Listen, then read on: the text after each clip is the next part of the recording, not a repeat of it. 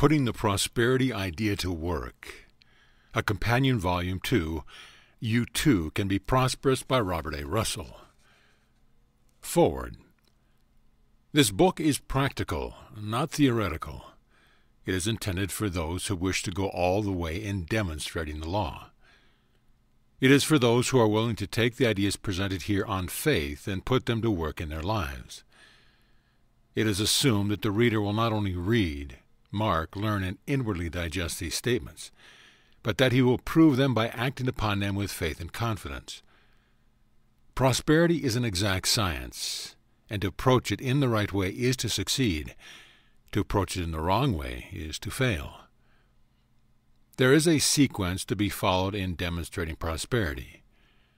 Order is heaven's first law. We must put first things first. If we get the fundamentals right, the superstructure will be right. It is important at the beginning of a study of this kind to understand not only the ways in which supply moves, but our part in keeping it moving. In other words, to know how to keep the idea whirling on its axis once it has begun to revolve. Many people think that prosperity depends upon outer circumstance and conditions, a particular job, profession, position, or business. But that is not true. Prosperity is a state of consciousness, and anyone who has the conscience will demonstrate prosperity no matter where he is. It is not the job or business that makes a man prosperous, but what he brings to it. The whole matter turns on consciousness. Without the consciousness of success and prosperity, the finest business produces very little. The law of giving and receiving, which is the law of prosperity, is infallible. The way to prove it is for you to specialize it for your good. Look unto me, and be ye saved all the ends of the earth. No one who looks to God for a supply can fail to be prosperous. Faith without works is dead. So is knowledge without action. Live with this book until you have embodied the principles contained in it. You will know without question when the book has served its purpose for you by the changed conditions in your life. Robert A. Russell. Introduction What you get out of this book will be determined by what you put into it, and whether you read it in the letter or in the spirit. The blessings of good that you are seeking is seeking you. It is right where you are, awaiting your recognition and acceptance. Yes, I know that you have tried to demonstrate health, success, prosperity, and freedom, and feel that you have failed.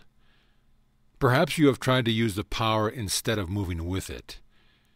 You may have tried to personalize it with the human mind instead of letting it come to you through the Christ mind. Here is a fresh start. By the very act of listening to these words, you prove that you recognize your need.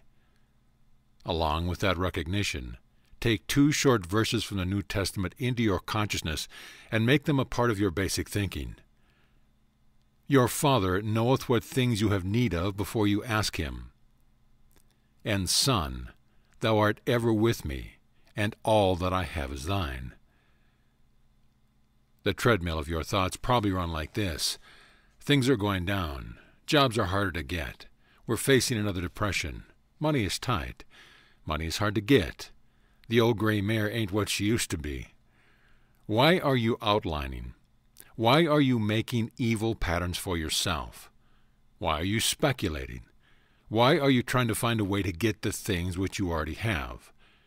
Why do you need a rope and a bucket for things that are yours merely for the acceptance? You recall the woman by the well of Sychar to whom Jesus offered living water, life eternal.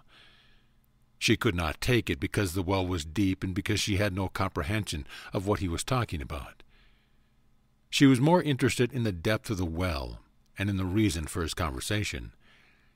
You remember that he was a Jew and she was a Samaritan. How did I know it was Jesus? she probably later said to her friends. I had never seen him before, and it could have been a highwayman. Of course, she couldn't know him. She was more interested in the personality of the speaker than in his gift. She wanted to know if Jesus was greater than Abraham. She wanted to know how you could draw water without a bucket and a rope. The woman saith unto him, Sir, Thou hast nothing to draw with, and the well is deep. From whence hast thou that living water? Jesus answered and said unto her, Whosoever drinketh of this water shall thirst again. But whosoever drinketh of the water that I shall give him shall never thirst. But the water that I shall give him shall be in him as well a water spring into everlasting life. Man often fails to realize his blessings because he is more interested in the process involved than in the gift itself. He must take in all the lectures, go to all the churches, get all the interpretations, and buy all the courses. He instinctively senses that the gift is there. But he thinks he must go around his thumb to get it. He does not realize that the wisdom of this world is foolishness with God. He must have a bucket and a rope.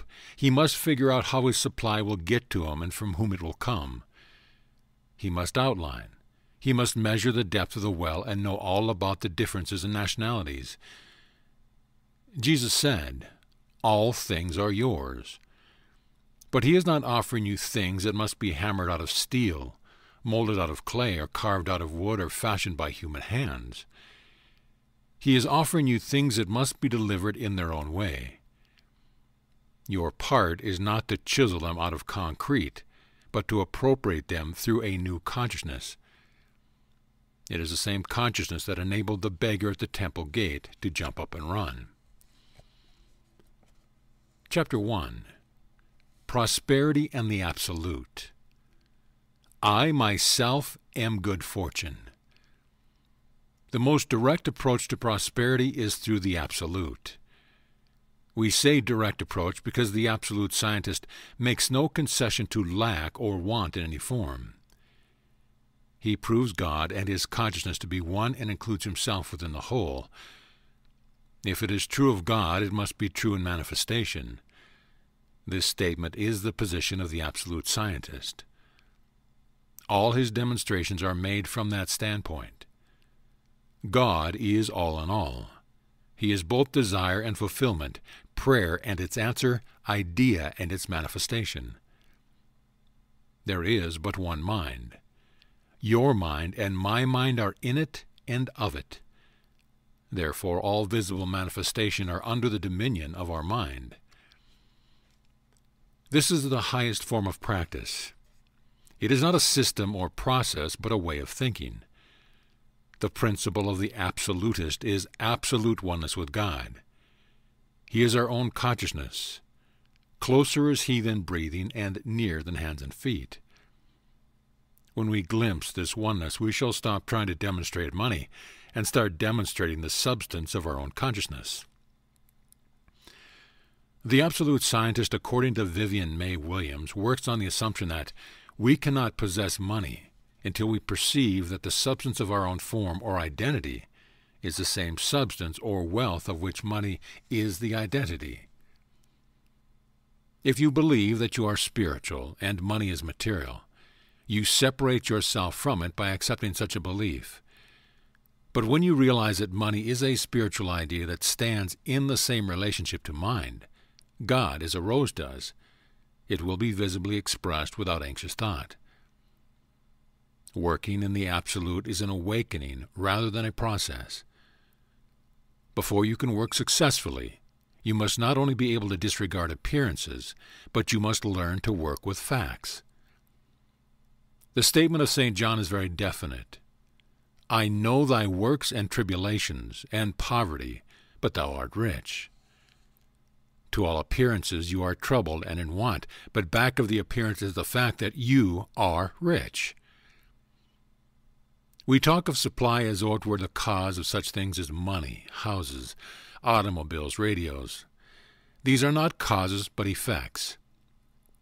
The real cause of material blessing is in the law of consciousness.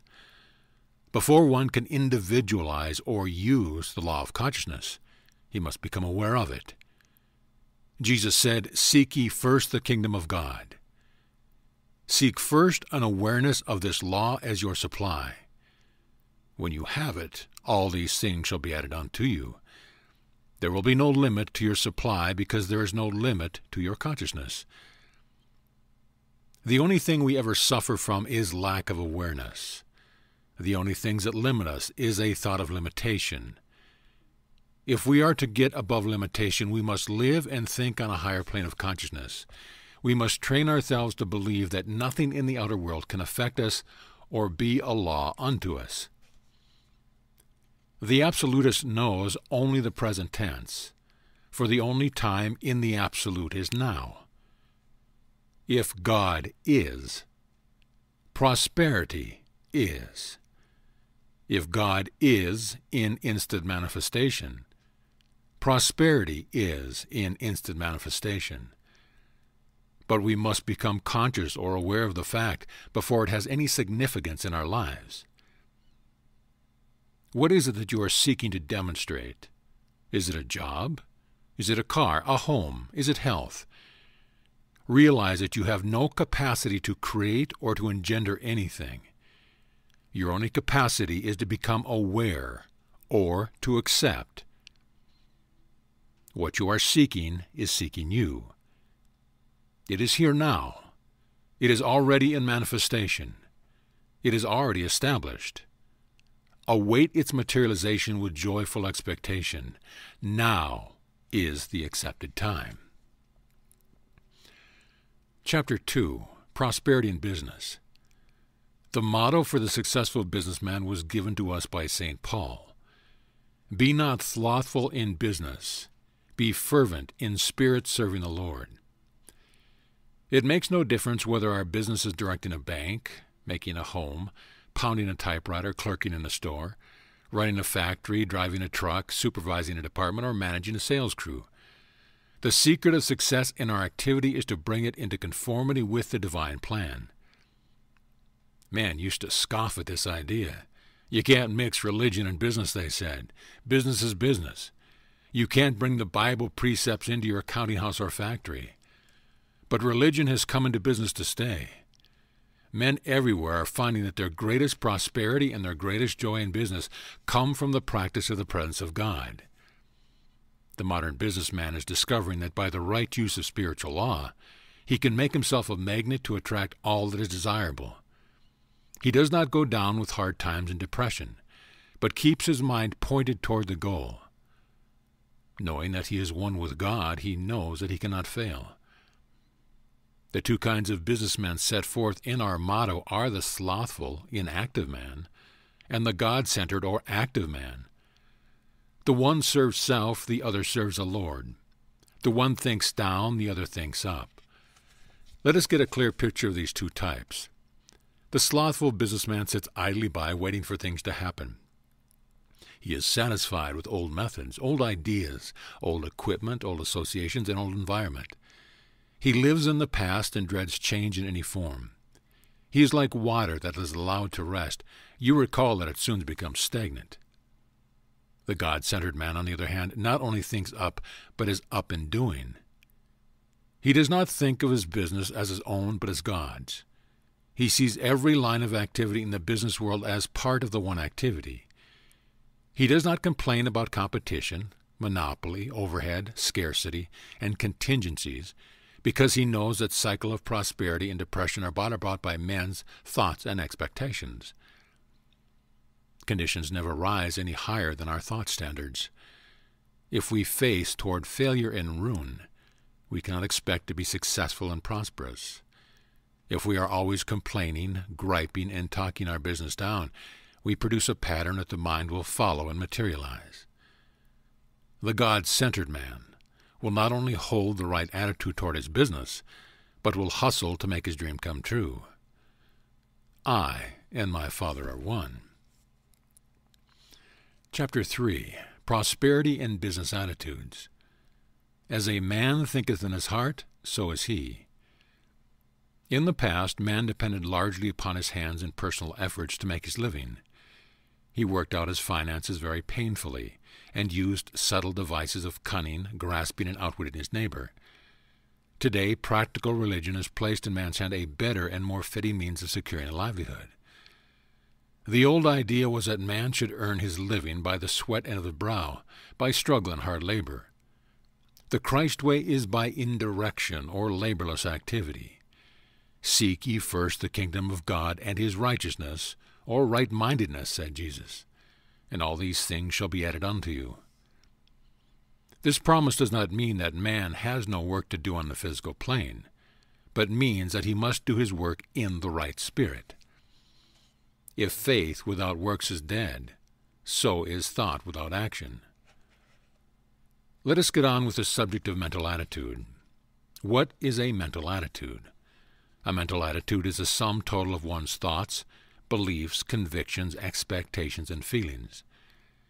The habitual attitude not only determines a man's character, but what he attracts from the outside world. We think of it as a magnet that attracts the people, opportunities, circumstances, and things that are in harmony with it. It is most important, therefore, that we develop the kind of mental attitude that will attract the things that we want. The psychiatrist concerns himself with many attitudes. The metaphysician concerns himself with only two the positive and the negative. The positive attitude sees things in their relationship to God. The negative attitude sees things in their relation to self. The positive attitude expects and attracts the good and desirable things of life. The negative attitude expects and attracts the evil and undesirable things. Our mental attitudes are vitally important in the business of living and demonstrating because they interpret us to others. Like attracts like. Birds of a feather flock together. If we go about with the mental attitude of defeat, fear, worry, frustration, and confusion, others will tune in our adverse mental states and govern themselves toward us accordingly. They will be attracted or repelled by the prevailing mental state which we hold. Emerson said, What you are screams so loud that I cannot hear what you say. What you are is what you are attracting from the world. Now, you think this is a lot of nonsense, don't you? Then make a careful study of any rich man you know, and see if his prevailing mental state is not one of opulence and plenty. It never dawns on him that he could ever be impoverished or poor. He builds the opposite idea into his mental attitude and is constantly supported by it.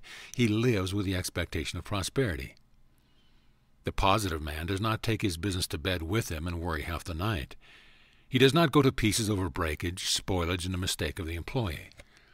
He does not poison his brain with fear, anger, or temper. He knows that negative attitudes not only sap his vitality and defeat his purpose, but invite disaster. Begin this very moment to establish in your mental attitude those things which you wish to attract. Set up a new ideal of financial success and hold the creative thought that everything good is being attracted to you now. See it, feel it, demand it, and accept it. I am prospered by the increasing, multiplying power of God's substance. Prosperity and compensation. The labor is worthy of his hire. While we are on the subject of giving and receiving, it might be helpful to say a word about right compensation for spiritual work. Most people treat this matter casually when actually one of the basic rules for keeping the demonstration alive and for preserving the contract between cause and effect is involved. The law, as E.V. Ingraham says, perpetuates and amplifies whatever it is allowed to act upon. Giving preserves this contact. It keeps your affairs in contact with creative power. The fruits of the law are contingent upon observance of the law. A consecrated minister, healer, or practitioner has no desire to capitalize on his ministry, but only to be supported while he gives generously of his knowledge and of his time.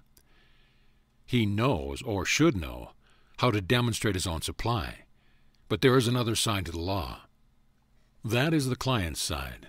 A true spiritual healer knows that the client can receive no benefits from metaphysical treatment until he fulfills his part of the law. If he is seeking healing and does not support the practitioner who labors for him, he will not be healed. The law of compensation was clearly stated by Jesus. Whatsoever a man soweth, that shall he also reap. With what measure ye meet, it shall be measured to you again. Give, and it shall be given unto you. You must compensate your minister or practitioner, not because he demands it or expects it, but because compensation is an integral part of the process of receiving. This obligation exists not only for personal counseling and treatment, but for funerals, baptisms, weddings, and other ministrations as well. If you accept the time and service of anyone without making a fair and just return, you not only break the law, but you set up a debit against yourself in the ledger of life. You create a gap in consciousness, a sense of guilt, that will hinder any future demonstration of good. The reason Jesus laid so much stress on giving is that giving enlarges the capacity for receiving. If you wish to be healed and to stay healed, pay your practitioner according to the benefits you expect to receive. By compensating generously for any service, I establish a reciprocal action between the universe and my business and finances. Chapter 5 Prosperity and Confidence. In Thee is my trust. When you go to a store and buy a piano, radio, washing machine, or groceries and have them charged to your account, that is called credit, from the Latin word credo, or I believe. Your dealer lets you have the things you want because he has faith that you will pay your bill when it is due. Confidence comes from the Latin word confido, I trust. Faith and trust are the basis of all trade. Business is good or bad according to the confidence we have in one another. Some people, said Edward Beals in his booklet, The Law of Financial Success, seems to be of a naturally suspicious frame of mind, always of the opinion that someone else is trying to do them. Others are gullible and swallow everything, bait, hook, and line. Neither is the wisest frame of mind. It is much better to maintain the thought of goodwill, fellowship, and confidence towards one fellow man, weighing all things impartially from an unprejudiced standpoint, and then render your decision after due thought from the facts in the case. But by all means have faith in your fellow man. Faith begets faith. If you have faith in your fellow man, he will have faith in you. In faith is faith reflected. Those who have studied dogs tell us that the canine gets our number at the first scent, that he knows whether we are friendly or fearful on first contact. He gets his information through the atmosphere or vibration which we emanate. It may not have occurred to you that there is a feeling and appraising sense in man that is akin to the smelling and appraising sense of dogs. Recall your own dealings, feelings, impulses, and impressions of others, and you will see that there is an even more subtle instinct and judging sense in man. We know that people fall in love at first sight, that some persons always wisely trust their first impression, that we attract some people and repel others. When we understand that our thinking and feeling create an atmosphere that reveals us to others, we shall be very careful to build into that atmosphere the faith, trust, and love necessary for our highest good. If we are weak, negative, and unbelieving, we surround ourselves with an atmosphere of failure that repels people. If we are strong, positive, and confident, we radiate an atmosphere of success that attracts people. The whole thing simmers down to this. The confidence others have in us depends upon the confidence we have in them. When we combine self faith and faith in others, we are invincible. The only place in which Jesus could not do mighty works was in his own hometown. Why?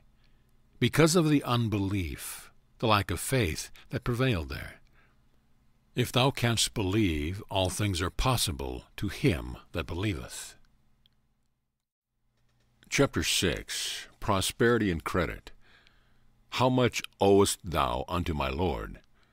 One of the things that complicate living and retard prosperity is credit. Like money, it can be a blessing or a curse according to the way it is used. If we appreciate the credit system and know how to use it to its advantage, it can be a blessing. If we abuse it, it can be a curse. The lives of many people who buy more than they can pay for bear this out. Possibly the worst thing that can be said about installment plans is that they enslave people and rob them of their contentment, freedom, happiness, and peace. Easy payment plans that mortgage the paycheck for weeks, months, and even years ahead are not easy payment plans, but hard payment plans. There are times when credit is a necessary and good thing, but people who like to buy things with money they do not have give it a bad name. Obligations that cannot be met when due lead to complications, strains, worry, and fear.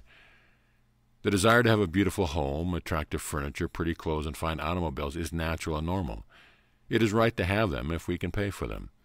It is not right if we have to go into debt and worry until they are paid for. If we borrow or charge our way into prosperity, we have the principles in reverse. We are living on someone else's money. Do you catch the significance of that? It means that you are in bondage to another's good. If you spend all your time paying for dead horses, you will never get ahead. False pride or desire to keep up with the Joneses sometimes causes people to do foolish things in order to impress their friends. They sometimes order a beautiful oriental rug sent out on approval, and after the party send it back to the store. Storekeepers say the same thing is often done with dresses, furniture, and radios. When will we learn that we never cheat anyone but ourselves? We need to stop trying to get something for nothing, to stop trying to be somebody else. Life does not tolerate dishonesty. Sometimes, somewhere, somehow, we pay for everything we get. If it does not come out of our purse, it will come out of our skin, but pay we must. Success is measured in terms of fame, fortune, or the abundance of things a man has, but in terms of integrity, honesty, and the ability to live within one's income. Artificial people build artificial conditions in their bodies and affairs. Happiness is not in having, but in being. Peace of mind depends not upon what you spend or do not spend, but upon what you think and how you live. It is always wise, therefore, to buy only what you need and to pay cash for what you get. The stores that have the fewest enemies are those that sell only for cash. They make friends because they help their customers keep their freedom. Owe no man anything but to love one another. 7. Prosperity and debts. But if ye forgive not men their trespass, neither will your Father forgive your trespass. In the Lord's Prayer we are told, Forgive us our debts as we forgive our debtors. You have already met the metaphysical principle involved in this part of the prayer, and know that it is impossible to hold two ideas in mind at the same time. Before we can expect forgiveness, loosen that which is bound according to the Greek, we must forgive others and forgive ourselves. Heaven is a state of balance, completeness, happiness, perfection, and peace. Debt is a contradiction of the universal balance. In reality, there can be no debt because God's ideas are always complete. If divine substance is the common property of all, no thought of debt can enter into it. Charles Fillmore in Prosperity says that debts exist in the mind, and in the mind is the proper place to begin liquidating them. These thought entities must be abolished in mind before their outer manifestation will pass away and stay away. The world can never be free from the bondage of financial obligations until men erase from their minds the thoughts of mine and thine, which generate debt and interest. Analyze the idea of debt, and you will see that it involves an idea of lack. Debt is a thought of lack with absence at both ends. The creditor thinks he lacks what is owed him, and the debtor thinks he lacks what is necessary to pay it, else he would discharge the obligation rather than continue it. There is an error at both ends of the proposition and nothing in the middle. This being true, it should be easy to dissolve the idea that anyone owes us or that we owe anyone anything. We should fill our mind with thoughts of all sufficiency, and where there is no lack, there can be no debt. Thus we find that the way to pay our debts is by filling our mind with a substance of ideas that are the direct opposite of the ideas of lack that cause the debts. What we really pray for in this part of the prayer is that we are free of the burden of debt so that we can meet our obligations. When we get rid of the wrong ideas that produce the debts and substitute the right ideas of abundance and plenty, our debts will be forgiven and paid in full. I owe no man anything but love. There is magic in these words. If you use them consistently, you will find that you will not only be able to meet all your obligations, but that you will help the other fellow to meet his. I owe no man anything but love.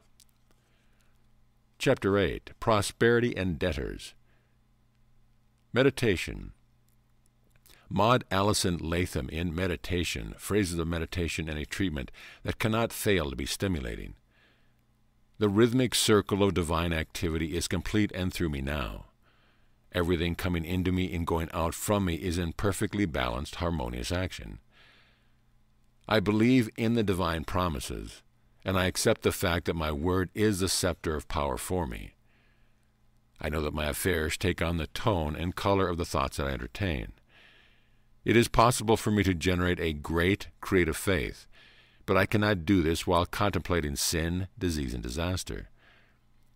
But as my thoughts dwell upon a spirit incarnated within me, the illumination creates for me a pattern of the highest good. So no one can decree for me but myself. All that is mine comes to me now perfectly, under an exact and divine law. Individual treatment. I now declare that no one owes me anything. I bless him whom I have thought of as my debtor, and I know that the God within me makes it possible for him to prosper in all his affairs. Only as my debtor prospers can he carry out his desire to recompense me. Thus I set in motion in a perfectly natural manner the laws that bring my own to me. I refuse to hold any man in poverty by thinking he has no way of getting his good from God. Instead, I think of him as always able to tap that great spiritual supply that God has provided for him. I know that no person, place, or thing can cheat him out of his good. Also, I know that all that is mine comes to me now perfectly under an exact and divine law. Chapter 9 Prosperity and Desire Ask, and it shall be given you. Seek, and ye shall find. Knock, and it shall be opened unto you. In any field of endeavor, there are four qualities that make for success desire, persistence, insistence, and imagination. Why do some men find fortunes just as easily as other men find a dime on the sidewalk? It is because they think big, are big, and act big. The law not only acts in them, but it acts in terms of multiple achievement. How do you account for the remarkable success of George Washington Carver? Desire. Born of slave parents and brought up in the most abject poverty, he became one of America's most successful and prosperous men. This lowly Negro not only produced 420 byproducts of the peanut and sweet potato, but made fortunes for those who handled them. How do you account for phenomenal achievements and triumph triumphant life of Helen Keller? Desire, imagination, passion, and resolution. Born blind and deaf and dumb, she became one of America's most outstanding women. There is, too, my friend, Robert LeTourneau, the king of earth moving machinery. At the age of 29, he was a total failure and knew not where to turn. Before he was middle aged, he owned five of the largest bulldozer plants in the world. If you were to ask him the secret of success, he would probably give them to you in this order a religion to live by, acceptance of stewardship, and a dynamic desire to accomplish his purpose. He not only makes fortunes for himself, but gives fortunes away to others. He is the man who said, Whatever happens, you asked for it. Do you see what we are trying to bring out? We are thinking about you and your desires. We are thinking about that job you are trying to demonstrate. We are thinking about the deal you are trying to put over. How big is your desire? How large is your vision of achievement? How deep is your feeling? Let me ask another question. Do you really have a burning passion to be the thing you want to be, to do the thing you want to do, or are you confusing wishing with desire? There is a vast difference between them. Until you get the vibration or feeling, nothing is going to happen nothing is going to change. It is not what you say with your lips that counts, but what you feel. It is God's intention that you should have an abundance of everything. Then why do you miss it? Because you water down your desire, because you dilute your feelings. Insistence and persistence are equally important. We are so easily sidetracked. We allow others to change our mind and divert us from our goals. When life puts us to the test, we become discouraged, apathetic, casual, and divided. Do you know what you want? Well, then stay with it, stick to it, persist in it, allow nothing to dissuade you. Lift your eyes to heaven, speak squarely into that universal bounty, and say, I accept that which is mine. It is here now, I feel it. The last quality necessary to success is imagination. God's work is done. The trip you want to take, the money for the mortgage, that home, the car, they are all here. They exist in the subjective, in the invisible. Then how will you draw them into your experience? By creatively imagining them. Go into the silence and imagine what you want. See yourself in the new home. See yourself driving that new car. See yourself in that new job. Feel the desk before you. See your associates around you. Hold the picture in your imagination until it becomes live and creative. Hold it until it enters your consciousness. Believe you have the object of your desire and thank God for it. Cultivate these four qualities, and there is nothing that you cannot get from life. Lord, I believe. Help thou mine unbelief. Chapter 10 Prosperity and Discouragement. Hope thou in God. I am the great paralyzer of health and success. I am the great destroyer of ambition, aspiration, hope, and opportunity. I am the cause of more failure, disappointment, and wretchedness than any other one thing. I have blighted more lives, killed more initiative, ruined more plans, arrested more development, adulterated more minds, frustrated more purposes, stifled more ability, choked more talent, broken more hearts than anything else ever has. I have weakened more bodies, destroyed more health, sent more people to hospitals and insane asylums than anyone ever will know. I generate poison in the body and brain that saps life, wastes energy, cripples genius, lowers resistance, and ruins careers. I steal confidence, happiness, and peace of mind. I erect barriers and obstacles to man's good. I deprive men of money, prosperity, and opulence. I keep them in a constant state of want. I distort, distress, devitalize, demagnetize everything in human life. I starve, stunt, throttle, and thwart human effort. I keep millions of people in mediocrity and ignorance. I am the great hobgoblin of the race. I always attack people when they are down. I deceive, lie, and cheat, and yet I have more power in human life than any other one thing. The devil loves me because I am his best tool. I am discouragement. There is but one thing that can be done for the discouraged person, and that is to show him how to reorient his thoughts. For every effect there is a cause. The cause of discouragement is self-centeredness, or what a psychologist calls egocentricity. The discouraged man is rich in the power to be miserable, bounded on four sides by himself, he has shut himself off from life. He has no God but himself. Jesus said, Whosoever will save his life shall lose it. He loses it because self-centeredness destroys itself. Consider what this means in the light of the teaching of Jesus.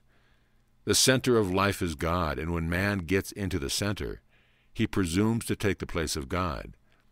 It makes no difference what form self-centeredness must take.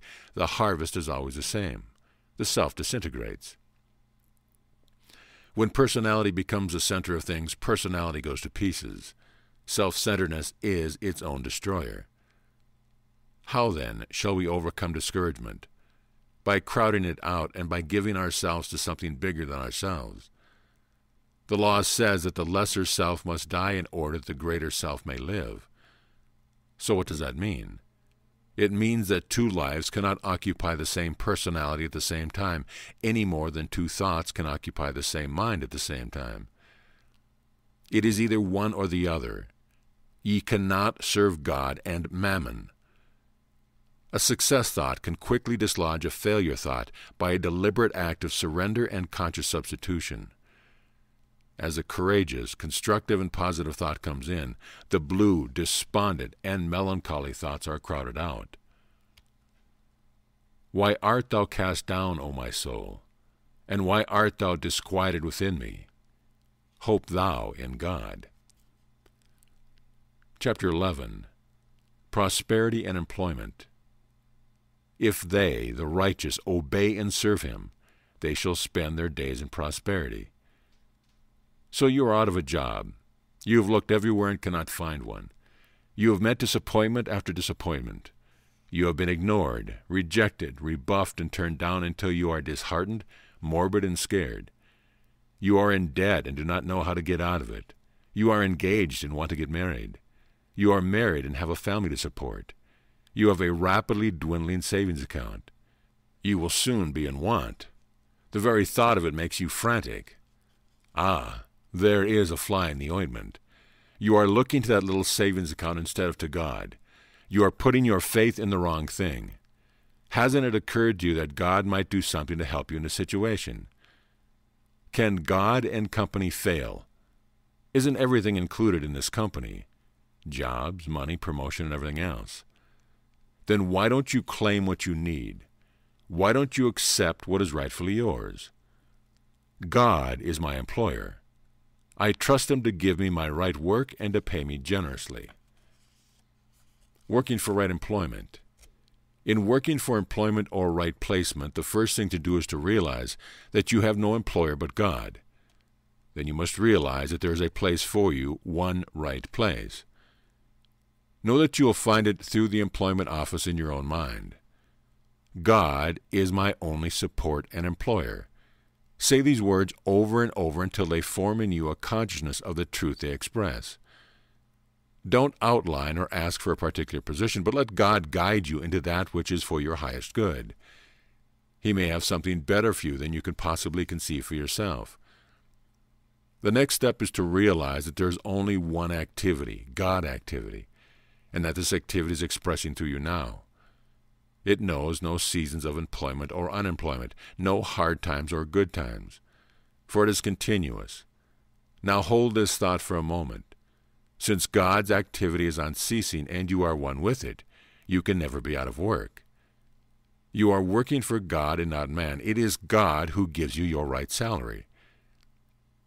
There is always a temptation when one is out of work to take the first job that comes along. This is often a mistake. People who get jobs by this hit or miss method are seldom satisfied. The right way is to find out what you are best fitted for and to work spiritually toward your right placement. If you have a plan for your life, you will reach a desirable destination. If you do not have a plan, you are likely to end up in the doghouse. Your third step should be an analysis of your abilities and potentialities. Through a vocational analysis or through self discovery, you should determine what work you are best fitted to do. Do you like to work with tools? Do you prefer art, music, or chemistry? Are you creative? Do you like to use your hands? Do you like to teach? Make a careful analysis of yourself. Seek divine guidance, and you cannot fail. The fourth step is to treat yourself for the fulfillment of your desire. Use some such statement as the mind model that follows. I know that the divine intelligence within me knows what my particular work is. It knows the right activity to bring about my objective. I rely on it to open the way and to show me the sign that points out the right action. I realize this divine guidance is within me now, and that God activity cannot be withheld from my affairs. The last step is to get the feeling of the fulfillment of your desire. You want a good job, then get the feeling of it. Use your imagination. See yourself in it. Feel the desk, typewriter, or merchandise before you. Feel the tools of your trade. See your employer smiling at you and approving of what you do. Know that you are capable of meeting any demand that can be made upon you. Thank God that your desire is already fulfilled and await its manifestation in peace and confidence. I can do all things through Christ which strengthen me. 12. Prosperity and fault finding. Why beholdest thou the mote that is in thy brother's eye, but consider not the beam that is in thine own eye? Here is a problem that compels our immediate attention. Read between the lines of this text, and you will see that what Jesus is really denouncing is criticism. There is a bit of humor in the text, too. Here is a man with a veritable telephone pole in his own eye who is looking for a speck in the eye of another. The point Jesus is bringing out is that the habitual critic is so busy looking for the faults and shortcomings of others that he has become blind to his own. From our experience, we know this is true, and we also know that as a critic magnifies the fault of others, he minimizes his own. Psychiatrists tell us, too, that if he did not have these same faults or a capacity for them within himself, he could not recognize them in others. There's another lesson here which must not be overlooked. The critical person not only has more physical troubles than the non critical person, but more financial troubles as well.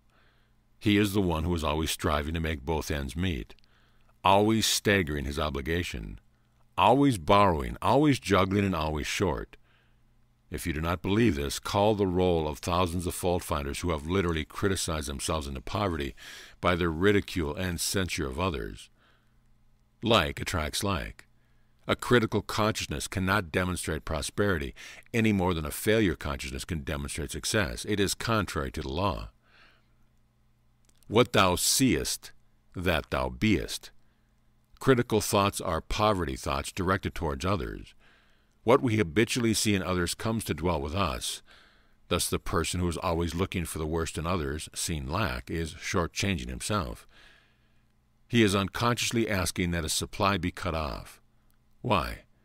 God's abundance will not flow toward a critical and censorious mind. Let us be frank with ourselves in this matter, then. If we are guilty of this vicious habit, we have no one to blame for our impoverished conditions but ourselves. The fault finder throws away the good and keeps the bad. He is so busy seeing lack in others that he creates a greater lack within himself. How then shall we overcome this wicked and futile habit? There are five practices that we must adopt. 1. Recognize that criticism always defeats its own purpose. It is destructive and disruptive and separates us from our good. It alienates us from our friends and keeps us in a state of need. 2. Make the mind a graveyard for the faults of others and never repeat any gossip. 3. Look for the best in every person and broadcast what you find. 4. Meet every critical thought with an affirmation of truth. 5. Practice the presence of God.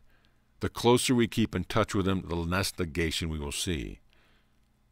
Thou art of pure eyes, and to behold evil and cannot look upon iniquity.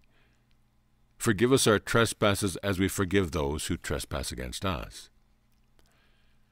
Chapter 13 Prosperity and Fear. Perfect love cast out fear. What word brings more disaster, poverty, tragedy, misfortune into human life than any other? What word condemns more men to failure, penury, and want than any other? What is the word that retards man's progress and places obstruction in his path? What word causes more worry, lack of confidence, timidity, anxiety, self deprecation, irresolution, balefulness, and depression than any other? What is the word that lays the foundation for any disease, sickness, and misery than any other? What word destroys confidence, hope, happiness, joy, and peace of mind? What word never adds anything to your health, wealth, comfort, or happiness? What word wastes your mental power, saps your energy, destroys your efficiency, paralyzes your effort, and cuts down your chance of success? What word cramps your mind, stifles your life, and limits your power of expressing? What word destroys ambition, weakens character, shakes confidence, and keeps millions in mediocrity? Have you guessed it? That word is fear. Fear is the foundation of all our financial difficulties because it reverses the law of attraction. Fear is faith turned upside down. It is faith in evil. When we fear want or failure, we attract it to ourselves just as surely as though we desired it. That is why Job said, The thing I greatly feared has come upon me, and that which I was afraid of is come unto me. By fearing evil, he gave it the power to operate in his life. The law of fear works in two ways, just as all other laws do. It either draws the thing you fear toward you, or it forces you toward it. That is why the object of fear is likened to a moth fluttering around a flame. If you do not change your position in the law or reverse the thought, you will be consumed by it. Why is this true? Because whatever you give your attention to absorbs you. If you give fear the best seat in your mental household, you will attract as guests not only poverty, penury, and want, but all mental vampires that are the progeny of fear. God hath not given us the spirit of fear, but of power and of love and of a sound mind. According to the law of heredity, man is entitled to two but fears the fear of falling and the fear of loud noises. Where did the other eight or nine thousand fears come from? They were man made.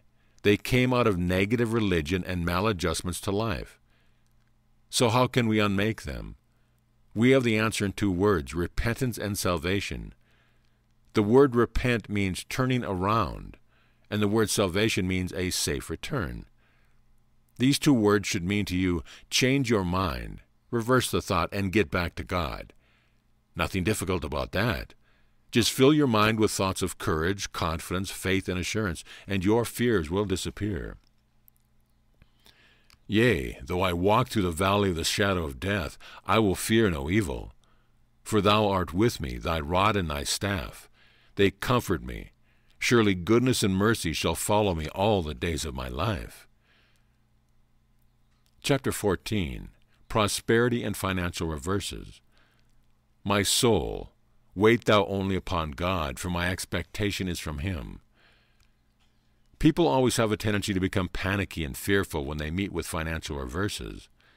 In the vernacular of the street, they become tight. They develop an attitude that contracts their income instead of expanding them.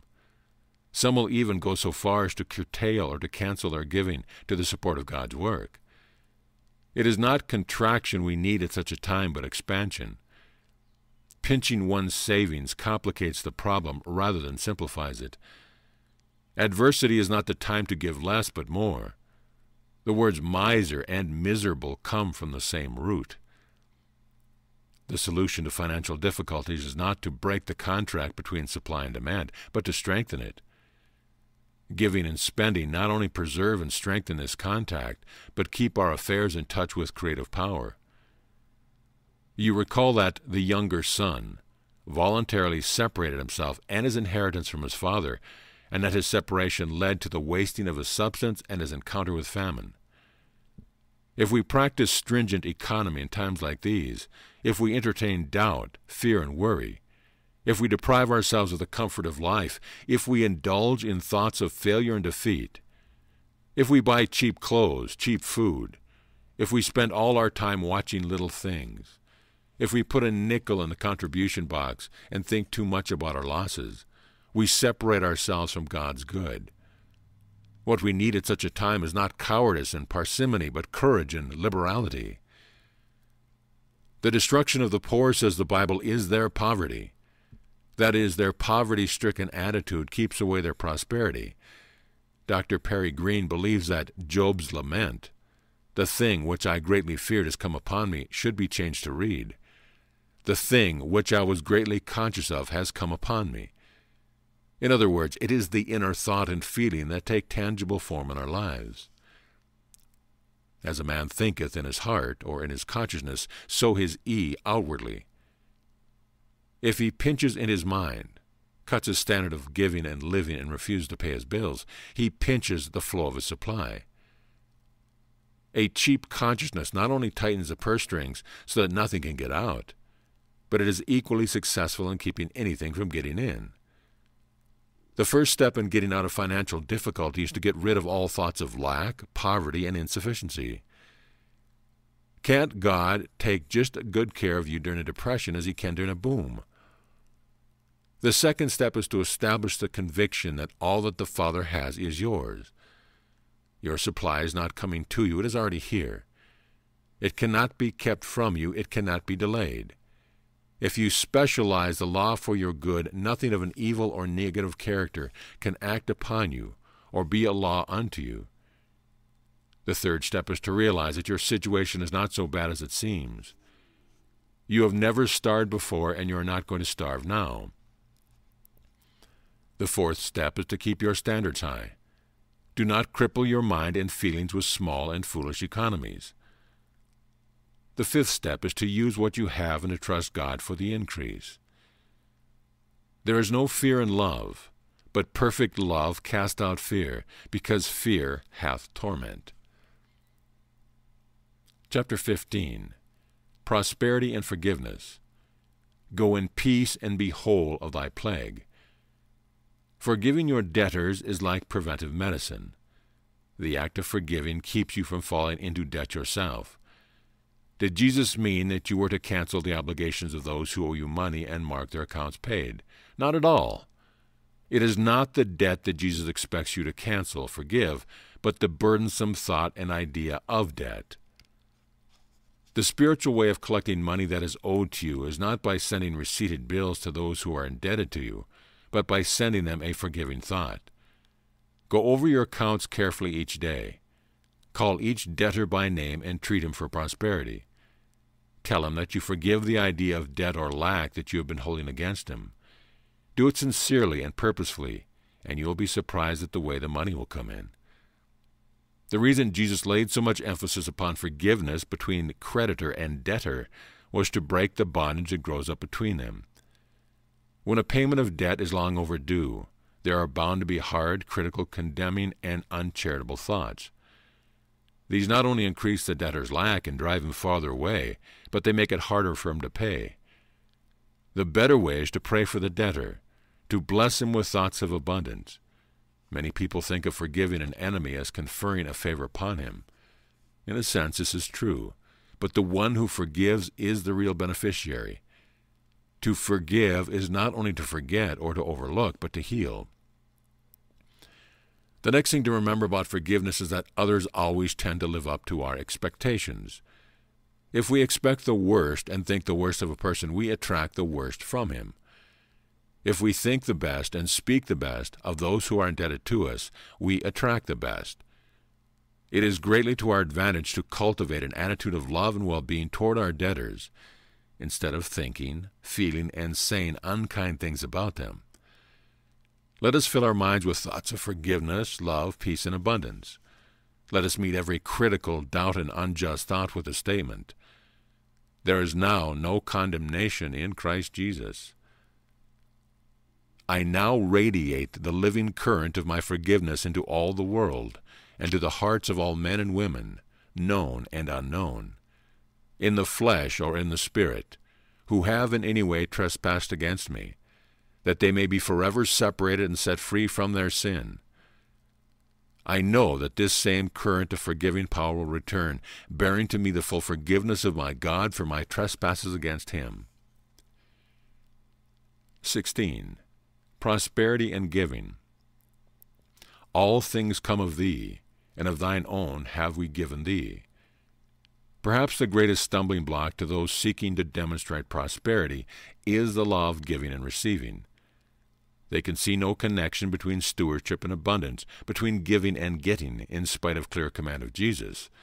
Give, and it shall be given unto you. They can see no reason why giving should precede receiving, or why the spirit in which they give should govern the amount that they receive. Daniel Webster once said, The most solemn thought I ever had, and I have it often, is my personal accountability to Almighty God. It is a solemn thought that some day you and I must give an account to Almighty God for the money and goods that He has lent to us. Why do we say lent to us? because everything belongs to God, then why must we give generously in order to receive abundantly? There are eight reasons. 1. To keep a reciprocal action between God's supply and our purse, between the relative and the absolute, earth and heaven. 2. To keep the mind relaxed and free of cramped, limited, narrow, parsimonious, pinched, strained, and warped thoughts. 3 to keep the attention centered in God and independent things. 4. To demonstrate to the world that our security depends upon God and not on money. To confuse money per se with prosperity shuts off our supply and destroys our prosperity. Stagnation sets in. Where there is stagnation, there is disintegration. To prove that we accept our stewardship as an acid test of our faith of universal supply, 6. To stimulate the growth and expansion of consciousness and to quicken the law of attraction. 7. To harness our desires to what we want by releasing what we have. If there is a stranglehold on what we have, it cannot circulate and attract its friends. The law says that what we desire and expect is what we create. 8. To maintain a balance in mind and body that results in happiness, health, and well being. Keep therefore the words of this covenant, and do them, that ye may prosper in all that ye do. 17. Prosperity and giving cheerfully. He which soweth sparingly shall reap also sparingly, and he who soweth bountifully shall reap also bountifully. Every man according as his purpose in his heart, so let him give, not grudgingly or of necessity, for God loveth a cheerful giver. Why are we asked to give bountifully to spiritual enterprise? Because such giving opens our faculties to receive. Bountiful giving is the gift and the giver in one parcel. God looks not upon the monetary value of the gift, but upon the spirit of the giver. Our gifts are not measured in terms of dollars and cents, but in terms of what we have. The widow's mite given out of her want was more than the gifts of those who cast of their own abundance. Read the text in Greek, and you will see that the word translated cheerful is hilaron. Among the synonyms for the word hilarity, we find glee, mirth, gaiety, exhilaration. God loves a hilarious giver because he proves his absolute faith in the formless substance of God. His giving shows his confidence that he meets it shall be measured to him again. He knows that there is always more where his present supply came from. Someone has shown the need for movement in these words. What would happen if all electricity should suddenly refuse to move on over the wires? If water stood still in the mains? If yesterday's air refused to rise and make way for today's, it would be disastrous.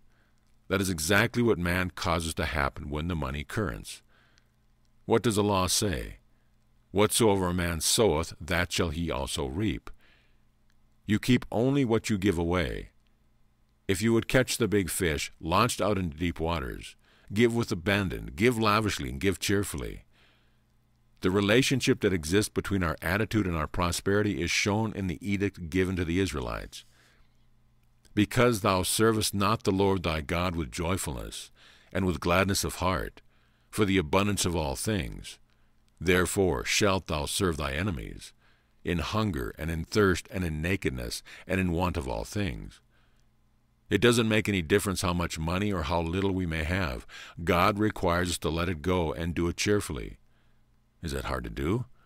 Not when we accept the promise of security and realize that sharing is the key to an abundance of the world's wealth. In the day of prosperity, be joyful. 18. Prosperity in human thought. Take no thought for the morrow. The injunction, take no thought, does not refer to a thoughtless and indolent state of existence, but to living without thought of anxiety and fear. It is one thing to plan for the future and another thing to worry about it. Take therefore no thought for the morrow, for the morrow shall take thought of the things of itself. Sufficient unto the day is the evil thereof. This idea was new to people who heard it, and they were no doubt puzzled by it. How could a man make a living without looking ahead? How could he accomplish anything without taking thought? Listen to the challenge of Jesus. Which of you, by taking thought, can add one cubit unto his stature? Do you get the meaning in that question? It is just as though he had asked, What can you accomplish by worry? Jesus did not mean that a man was to sit around and do nothing. He did not mean that he was to pass all his problems and responsibilities to God. Work is one of the greatest blessings in the world. If you do not believe that it is, ask the man in solitary confinement. Everyone must do some kind of useful work. To work with enthusiasm and happiness, with freedom from fear and worry, is to take no thought. But there is another lesson here. There is a warning against the fictitious and shallow thinking of the human mind. In other words, thinking without spirit, thinking without manifestation. The Bible refers to this kind of thinking as clouds without rain and the metaphysician speaks of it as prayer without answer. There are briefly two kinds of thinking right thinking, which is due to the action of the Holy Spirit, and wrong thinking, which is due to the action of the carnal or human mind. One process is thinking through God, or allowing God to think through us, and the other is thinking through the self or through matter. The thought that Jesus referred to is the latter. It is thinking around, of and about things with all the limitations that reversed, upside down thinking implies. It is the kind of thought taking that has its foundation in the wisdom of man, which, as the Bible says, is foolishness with God. Can you, by the thought process alone, fathom the mystery of feeding 5,000 people with five loaves of bread and two small fishes? The human mind has no comprehension of the power of substance to increase and multiply itself. Therefore, take no thought, saying, What shall we eat, or what shall we drink? or wherewithal shall we be clothed? For your heavenly Father knoweth that ye have need of all these things. But seek ye first the kingdom of God. Seek to let God think through you, and all these things shall be added unto you. He prepares a table before me. 19. Prosperity and imagination. Daniel had understanding in all visions and dreams. Webster says imagination is that power or function of the mind whereby we have ideal experience, primarily the power or process of having mental images, broadly the power or process of forming ideal constructions from images, concepts, and feelings, with relative freedom from objective restraint. A conception or imaging of some event, a scheme, a plot or project, expectation. The Latin word for image is imago. It comes from the same root as the word that means to imitate. The book of Proverbs tells us, Where there is no vision or imagination, the people perish. Napoleon said, Imagination rules the world. Bernard Shaw says through the lips of Cauchon in his play St. Joan, Is it not a pity that a Christ must die in torment in every age to save those who have no imagination? Imagination is not only the basic factor in all creative achievement, progress, and invention, but it is also the basic factor in all healing, health, demonstration, success, and supply. Our bodies, like our purses, are quickly affected by our imagination. Many have imagined themselves in certain diseases, and many, by reversing the process, have imagined themselves out of them. If we see ourselves in sickness, poverty, and failure, we shall produce those conditions. If we imagine ourselves in health, wealth, and success, we shall produce these. The result is a matter of imagination. We build or destroy, heal or suffer, prosper or want, fail or succeed according to the use we make of the imaging faculty of the mind. Actually, there are no imperfect demonstrations of the power of mind on the material plane. Every circumstance and condition in our lives is the fulfillment of the promise all things whatsoever ye shall ask in prayer, imagination, because we must imagine what we pray for, believing ye shall receive. Charles Fillmore says, Someone started the idea of lack and we tuned in.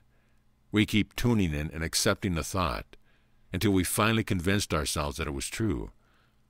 Spiritual substance obeyed this command or belief and filled the order for us. The channels through which the order was delivered do not alter the fact that the filling was the result of a creative intelligence made evident by a very natural process, the imagination. To imagine a thing is to be made a mold with our thoughts. That is our part. God's part is to pour the substance into the mold. This substance is all about us, waiting to form itself around our thoughts, and to bring into our lives the things about which we are thinking. If we wish prosperity, we must keep our minds off of scarcity and on plenty. If we imagine that we are opulent and successful in everything we do, our thoughts will act on this formless substance with that idea. If we think abundance and plenty all the time, abundance has to express itself in all of our affairs. A good man out of the good treasure of his heart bring forth that which is good. 20. Prosperity and just return the law of non possession. The earth is the Lord's and the fullness thereof. When we understand that all the money belongs to God, and that we are only stewards of it, we shall see that proportionate giving is not only the true basis of prosperity, but the secret of continuous and uninterrupted supply. Giving is the guarantee of true and abundant prosperity. Everybody wants a larger income but a larger income depends upon a more accurate use and application of divine law. Jesus stated the law to the disciples Give, and it shall be given unto you. Good measure, pressed down and shaken together, and running over, shall men give into your bosom. For with the same measure that ye meet with it all, it shall be measured to you again. Do you catch the import of that? Before you can get fresh water from your faucet, the old water must flow out. If you wish a full flow of water, you must turn the faucet on full force. So it is with money. If you cut off or narrow down the stream that flows out to others, you interfere with the supply that is waiting to flow in. St. Paul said, On the first day of the week let each of you lay by him in store, as God hath prospered him. You should think of your stewardship not as giving to man, church, or a specific relief fund, but to God. Your pledge is a covenant between him and you. Neither should you think of your supply as corner coming from clients, customers, or employees. You should recognize it as coming from God. In giving to Him and His work, you are simply preserving the contract between your supply and your demand. You are supporting and perpetuating your income. If there is a break in this process, your income must diminish accordingly. The first step in building a spirit of generosity is to practice the law of non possession. All the money in the universe belongs to God. We as individuals possess nothing. Must we then give up all our material possessions? No, not at all. We are not to give up our possessions, but to release anxiety, worry, fear, and tension that attaches to them. Go sell all that thou hast. When the sense of possession and sense of responsibility go, the fear, which is the cause of our poverty, will go too. The second step is to think of ourselves as stewards or distributors of God's gift. As stewards, we not only open ourselves to greater income, but we set in motion a law that balances the elements in our lives. Without balance, there is decay, disintegration, disease, and lack. With balance, there is plenty for every need. They that seek the Lord shall not want any good thing. When we lift our consciousness to Christ's standard of giving, we shall lift our income to the level of our wants. The third step is to remember that there is no charity, that there are no benefactors, no dependents, and no paupers. If all the money belongs to God and we are all His children, everyone has the same right to it that we have. The fact that we give to religious and community organizations means merely that we are exercising our stewardship toward them we give not to another poverty, but to his prosperity. The fourth step is to know that in sharing we are giving ourselves. We are giving our energy, our labor, our time, our wisdom, and our skill minted in currency, dollars, and cents. We are releasing life. The gift without the giver is bare. Chapter 21 Prosperity and the Kingdom Investments Lay not up for yourselves treasures upon earth, where moth and rust doth corrupt, and where thieves break through and steal. But lay up for yourselves treasures in heaven, where neither moth nor rust doth corrupt, and where thieves do not break through and steal. The injunction, do not put all your eggs in one basket, means that your reserve shall not all be put in one place. Scatter them, says the wise banker, so that your losses may be compensated by gains. If you invest everything in one enterprise, you may lose all you have. Astute businessmen get the advice of experts before investing their money, for they want safety as well as dividends. However, when a depression comes, we realize how little any man knows about the real laws of wealth. But there is one within us who does know. There is one who will not only show us how to get the largest possible dividends from our investments, but who will see that we have everything needful to our good. Jesus is giving us the advice of an expert. He is telling us where to invest our capital for the greatest returns. He is giving us the understanding of the one who ordained the law in the first place. It makes no difference how much capital a man may have. There are but two places in which he may invest it. He can either lay it upon the earth or he can lay it up in heaven. There is no second, third, or fourth place in which he may invest. Everybody has capital of some kind. Everybody is investing in one of these two places. It is important, therefore, that we understand this advice of Jesus and know why he directs us to one place instead of another. Since our choice is limited to one or two places, we must know why one is better than the other. If a friend advises us to go to one investment house instead of another, or to purchase one stock instead of another, We should want to know the reason for this choice. We think we want information about stocks, bonds, and mortgages. We believe that we are looking for a gilt edged security that will stand up in any kind of crisis, and we are. But underneath all this seeking is the search for God. We may call it prosperity, we may call it security, we may call it health, we may call it happiness. But in the final analysis, it is that which is permanent, enduring, and true. We want measure in heaven. What does it mean to lay up treasures upon earth? It means to put money in things it represents first in our thoughts and affections. By putting money above its source, loving the symbol rather than the spirit that it expresses, man limits it. It is easier for a camel to go through the eye of a needle than for a rich man to enter the kingdom of God.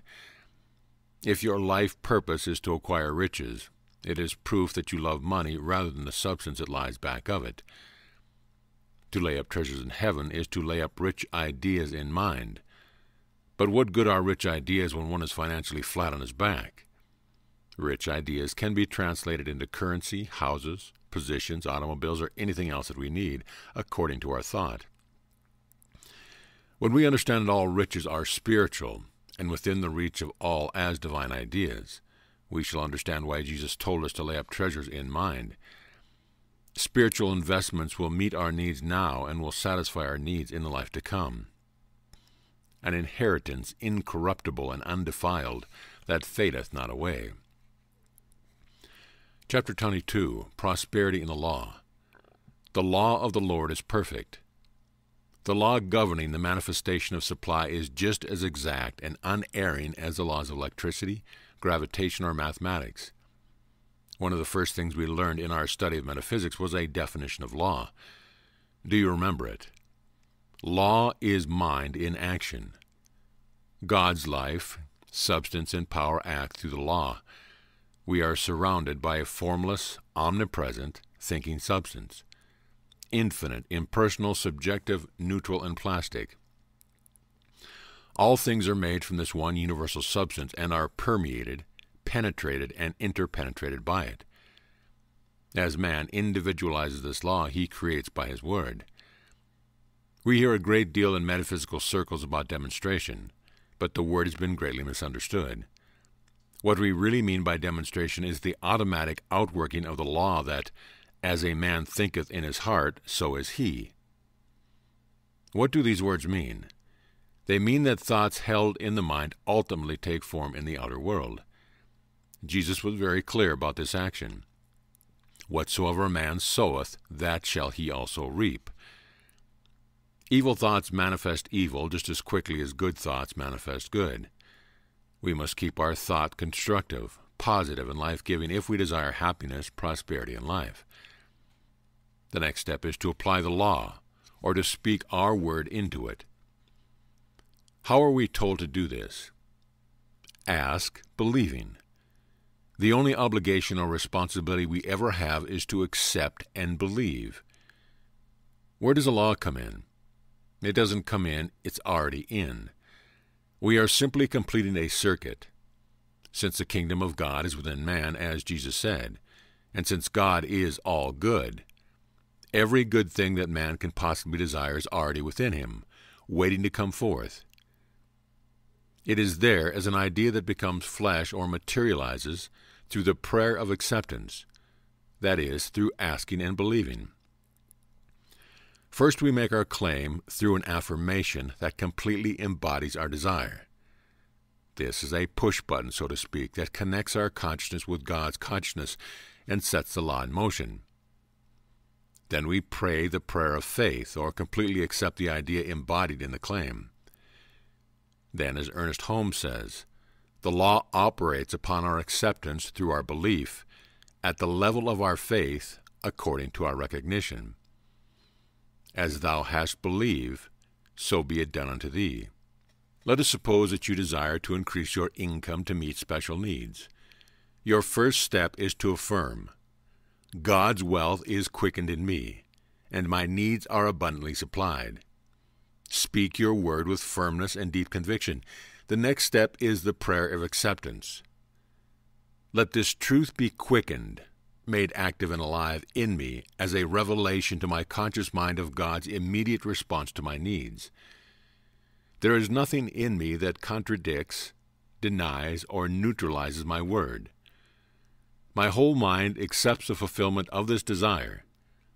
My whole being responds to it. I thank thee, Father, that I am able to appropriate thy wealth and meet all my needs. Chapter 23 Prosperity and the Magnet The Law of Attraction. I fill my mind so full of thoughts of prosperity that there is no room for a thought of want. This mind model deals with the law of attraction and expulsion. It gets rid of thoughts of poverty and want by substituting thoughts of opulence and plenty. How is this change accomplished? It is done by withdrawing the thought from lack and insufficiency and dwelling upon the all providing substance of God. We crowd out the limited and impoverished thought by filling every corner of the mind full of rich and prosperous thoughts. Like attracts like, fear attracts fear, failure attracts failure, and poverty attracts poverty. Criticism attracts more criticism, bitterness attracts more bitterness, and loss attracts more loss. Every impression tends to become an expression. This is a law of attraction.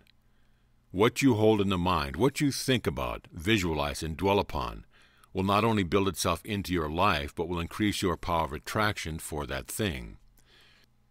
Prosperity is just a matter of obeying the law of attraction. The law will always bring to you the things and conditions that are like the thoughts and convictions that dominate your mind. If you are attracting the wrong things, you can change the action of the law by changing the kind of attraction that you have. You can do it by determining what sort of a magnet your mind will be. The law of increase is just as exact as the law of mathematics. It operates just as unerringly. Wealth, like poverty, starts in the mind.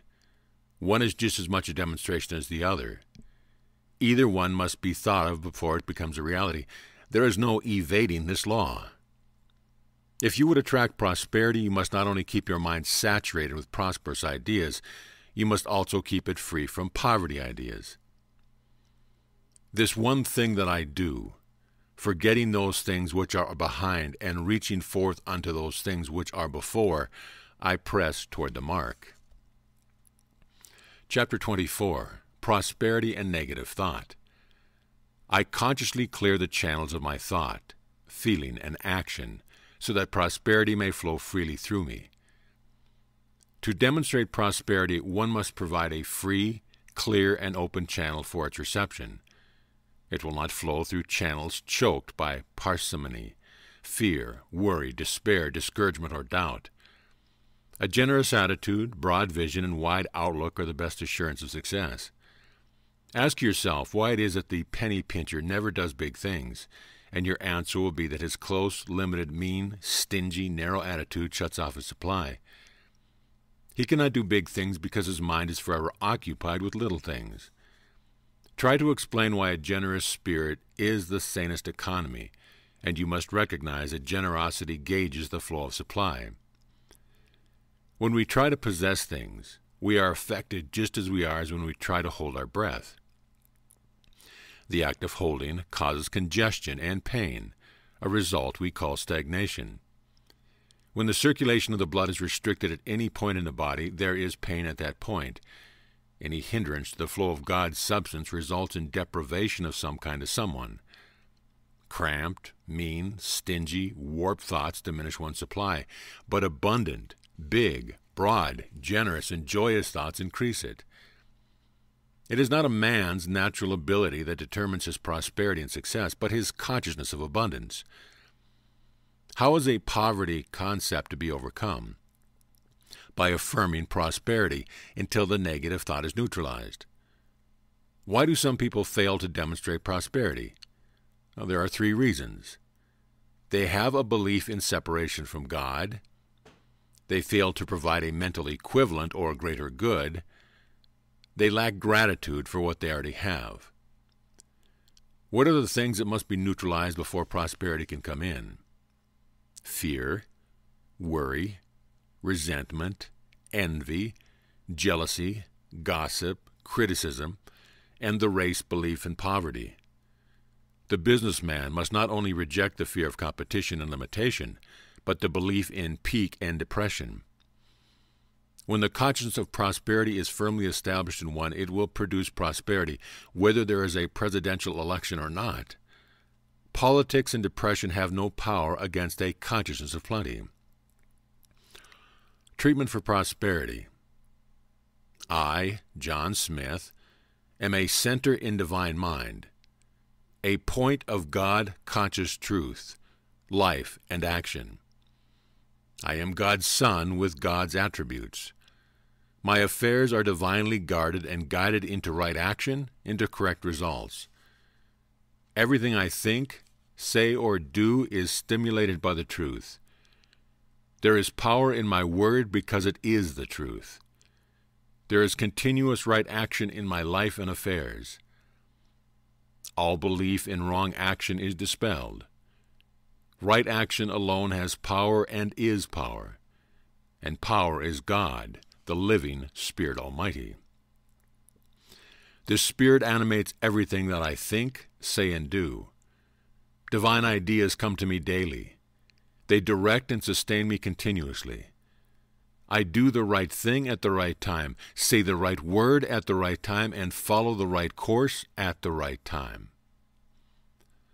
All suggestions of age, poverty, limitation, or unhappiness are uprooted from my thought.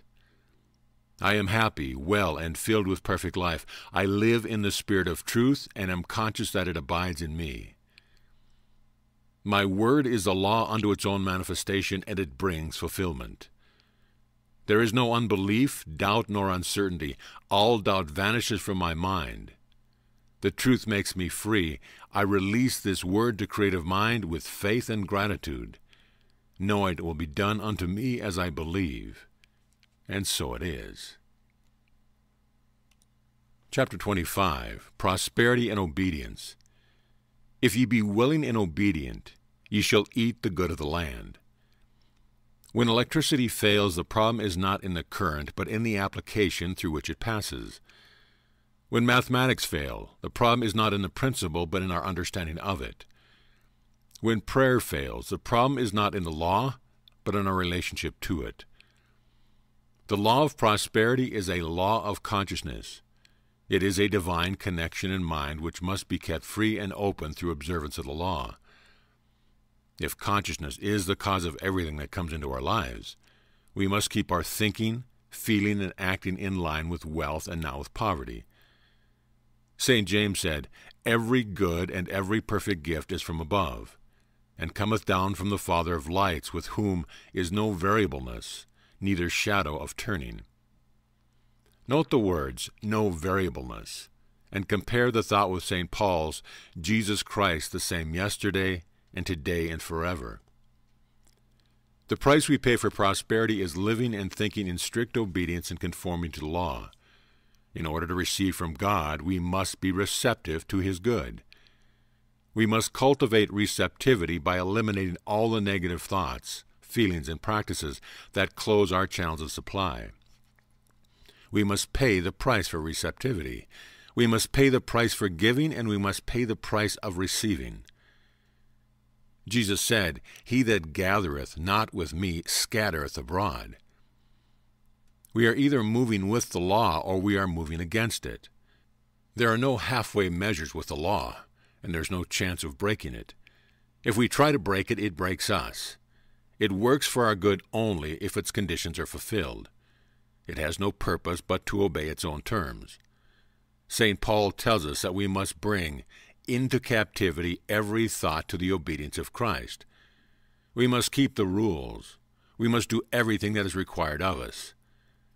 If we want good results, we must go all the way. We must turn the other cheek. We must give our cloak with our coat. We must go the second mile. We must forgive seventy times seven. We must render unto Caesar the things that are Caesar's.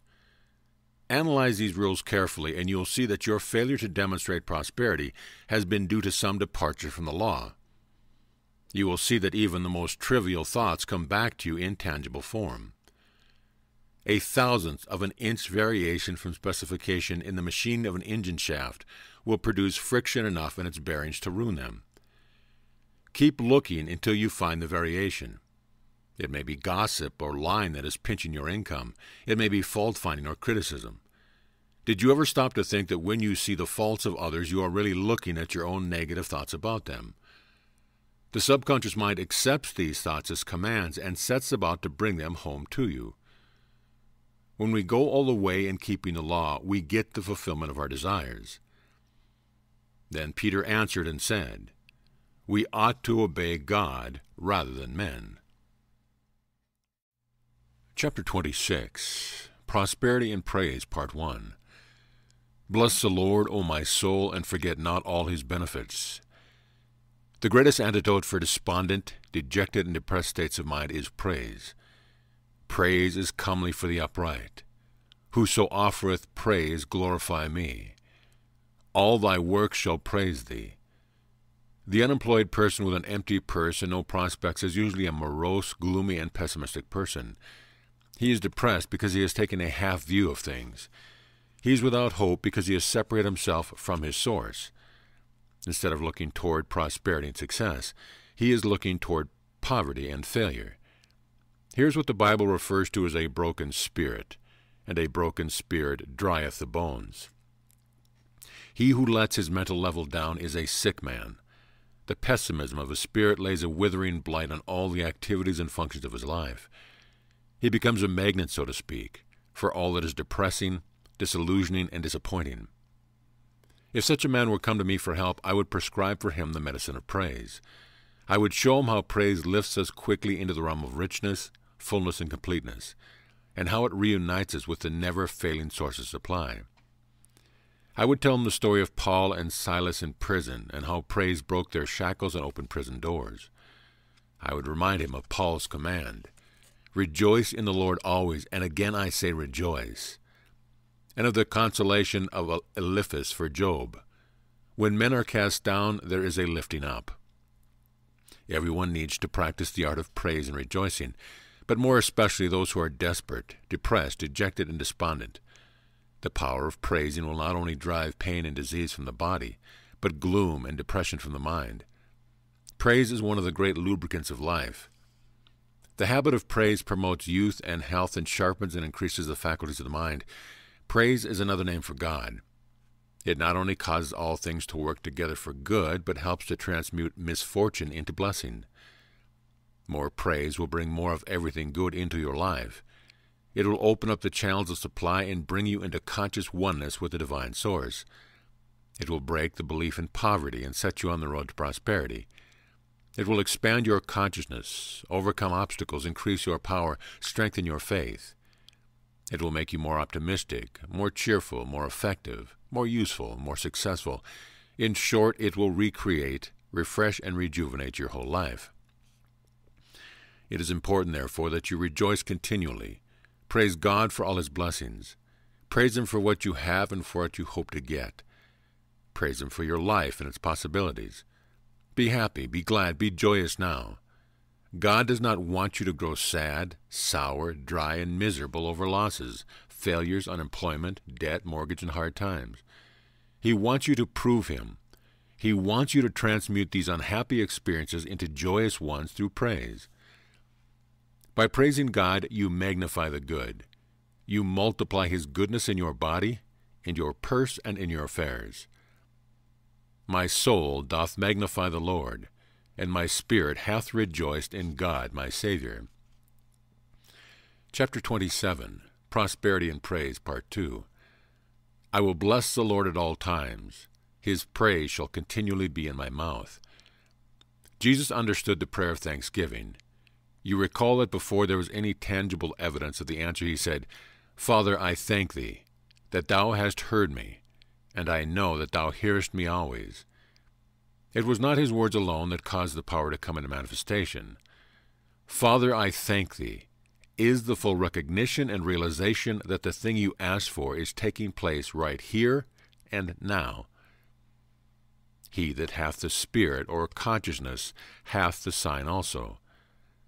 God's riches flow to us from every source. Whole souled gratitude opens wide the mind to receive. Is there a momentous and important decision that you must make? Do you need guidance and wisdom? Say each time the need present itself to your mind, Father, I thank thee for this direction. Then see how quickly the guidance will come.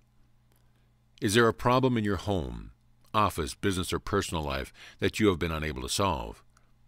Then say each time it comes to you, Father, I thank thee for the solution to this problem. And then see how quickly the answer will come. Are you depressed, anxious, or fearful over some situation that you do not seem able to control? Then repeat these words God, I thank thee. Note how quickly your state of mind will become confident and courageous. In everything, give thanks. Are you so sick that nothing seems to do any good? Then say every time your condition comes to mind, Father, I thank thee for my perfect healing. And watch how quickly you'll begin to improve. Are you in debt and need money? Then say each time the thought that comes into your mind, Father, I thank thee for the fulfillment of my need. Then watch the money come. Give thanks instead of complaining. Give thanks instead of fearing. Give thanks instead of worrying. Give thanks instead of wondering. God is a very present help in time of trouble. But he cannot help you unless you accept his help on spiritual terms. You must approach him from the standpoint of having from what you ask for. You must accept his help through your attitude of praise and thanksgiving. If there is nothing in your consciousness that doubts, denies, or contradicts your word, he will supply everything in abundant measure. There is no great and no small to the soul that maketh all. Seven dollars or seven million dollars, headache or cancer, it is all the same to God. The promise is that whatsoever ye shall ask for of the Father in my name, consciousness, he will give it to you. You do not have to beg God for anything. You only have to enter his nature, consciousness, and you can take from the universe anything you need. Is there anything unusual about a potter producing pottery? About a jeweler producing jewelry? About a baker producing bread? A composer producing music? Is there anything unusual about a man in Christ consciousness doing the works of Jesus? With thanksgiving, let your request be made known unto God. Chapter 28 Prosperity and Property. Your Father knoweth what things ye have need of. The first thing to do in disposing of a piece of property is to resolve it into an idea. In reality, you do not possess this property. It is in your hands as a steward. It is merely an idea that you are through with and ready to pass on to someone else. Make sure, however, that you are through with it. By that I mean make sure that you have released it in your thought, or it will keep coming back onto your hands. The author was once asked to work metaphysically for the immediate sale of a large and expensive mountain home. The results were almost instantaneous. A buyer appeared in a few days and made a deposit of $5,000. Everyone was happy about it, but the deal did not go through, and the house came back to the original owner. There was great disappointment, and assistance was called for again. The house came back a second time, and it was found that one of the owners was still holding on. She loved the house so much that she could not part with it in her thought. When it was explained to her why she must let it go, the deal was finally consummated. In good business, we are told that the truth student who invokes divine principle to aid in the sale of lots, farms, houses, or business buildings for himself or for another does not work to the end that a specific piece of property may be disposed of at a specific price. He keeps his mind fixed upon the spiritual aspect of such a sale by realizing that the owner of the property is a channel through which a home or other good gift is distributed from the Creator of all good to his children. The student knows that if the spiritual purpose is uppermost, through the infinite wisdom of God, buyer and seller will be brought together. An owner who desires to dispose of property should not feel that he is trying to be freed of a burden. He should know that God placed the property in his hands as steward, and that if his attitude is right toward it, the property is not burdensome to him. This realization will make clear to him the real purpose which should underlie the sale. Having released the property in thought, you should then work for a right connection. If there is only one mind and we are all in it, we are always in touch with a person who needs what we have. It is divine mind that brings us together. Get this realization, and you will not only attract the person who needs and wants what you have, but will pay the right price for it. What do we mean by the right price? We mean the price that you would be willing to pay for it yourself. If you ask more than it is worth or more than you would be willing to pay for it yourself, the law of justice and equity will not work. How does divine mind locate this property and bring the buyer to you? What is known in one part of mind is known in all parts simultaneously. Contrary to the belief of many, the whole transaction takes place in mind. The intelligence that offers the property for sale is the same intelligence that leads the buyer to you. All you have to do is to remove the obstacles in your thought and know that no circumstances, conditions, or persons can delay, hinder, or interfere with the sale in any way. Know that the deal is made, the money is in hand. See yourself turning this property over to the new owner. Feel the happiness of both buyer and seller and share in the satisfaction that the sale has produced. I am now in touch with the person who needs and wants the property and can pay the right price for it. Chapter 29 Prosperity and Your Queries. In faith, I look to God for the fulfillment of my every need. Why are receiving and spending money an affirmation of our faith in God? The act of receiving or spending money is an affirmation because money is a symbol of universal supply. The words, In God we trust, remind us to put our faith in the source of money, spiritual substance, rather than in the coin itself. The coin is but the outward and visible sign of an inward and spiritual substance. It is well to think of these words whenever we receive or spend money. What does it mean to trust God? It means to rest confidently and expectantly in Him. When we trust God, we have a settled feeling about everything in our life. We know that there is always enough for our every need. Let us think of these words whenever we receive or spend money. In God we trust. Let us think of them when our income has dwindled and our bills are unpaid. In God we trust. Let us think of them when we are unemployed and our payments are overdue. Let us bless what we have and trust God for the rest. God's substance fills my mind, and everything I bless is multiplied and enriched. 1. Where is this formless God substance to be found? God substance exists in the spiritual realm. It is all about us. It is in the very air we breathe. 2. How does it take form? It takes form through our thoughts, feelings, and words. 3. How is a desire for greater manifestation fulfilled? Greater manifestation comes through decrees. These are demands upon universal substance. 4. How does a decree function? It operates through the action of the conscious mind upon the subconscious acceptance of that which is asked for. A mind model held in this formless substance causes the idea to be created in form. First comes the formation of the idea in thought. Then the impression of the thought upon formless substance follows, and finally the creation results. 5. How is the decree carried out? It becomes manifest through words of blessing. Having made our decree, we carry it out by speaking words of blessing. We bless what we already have, what we desire to have, and what we expect to have, and it is quickened and increased. The riches of God's kingdom pour through me, and I am abundantly supplied. What is symbolized in the miracles of changing the water into wine at the wedding feast of Cana, the feeding of 5,000, and the drought of fishes? All these manifestations symbolize the infinite riches of God's kingdom. So, what is the purpose of these miracles? They show that the multiplying power of universal substance is unlimited. They teach the means of laying hold of divine substance.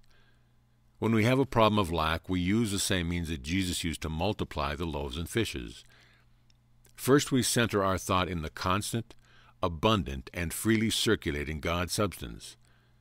Second, we make our demand upon it. We form a mental equivalent of our desire.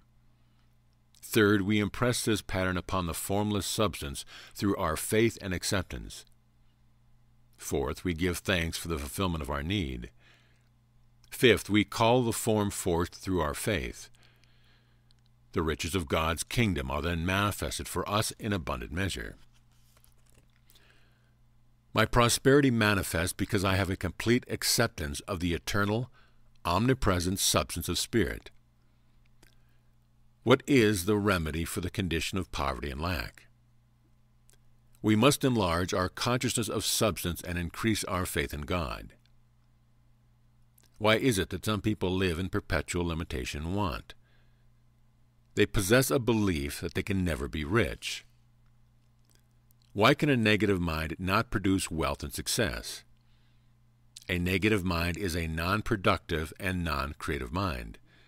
The negative mind inhibits, scatters, and obstructs all the desirable things. Why is the mind more important in demonstrating prosperity than the hands? The mind governs and works through the hands. Everything in the universe began as an idea of the mind. If the mind and hands of man do not move in the same direction, he will never get rich. He will, so to speak, be short circuiting the power that can make him prosperous. What should one do if one's supply of money is insufficient for his needs? The first thing to do is to drop all worry and fear. The second thing is to turn attention to God. The third thing is to recognize that God's substance is here now. Chapter 30 Prosperity and Resentment. He that is slow to wrath is of great understanding. There is no quicker way to drive away your prosperity than by a festering resentment. It is pitiful to hear poor people blaming their fate on social injustice, bad luck, and greedy employers, when the real problem is their inability to handle the negative and resentful thoughts in their minds. They do not realize that they were mental paupers to begin with, and that they can never hope to change their condition, nor to get the things they want until they make room for them in their consciousness. It is natural to want something better than we have, but the way to get it is not to berate others. We get what we want when we let go of the things that keep it out of our lives. Resentment is what the word implies re, sent, meant. It is sending evil back to a person whom we imagine has injured us. It is not only a destructive and punitive thought, but it is also highly emotional. Where does resentment come from? It comes from a sensitive, touchy, uncontrolled, unsurrendered, and undisciplined ego. The resentful person is a fearful, hostile, lonely, and rejected person. He is afraid because he is alone, and he is hostile because he is afraid. A controlled ego is impervious to hurt. An uncontrolled ego is ravaged by it.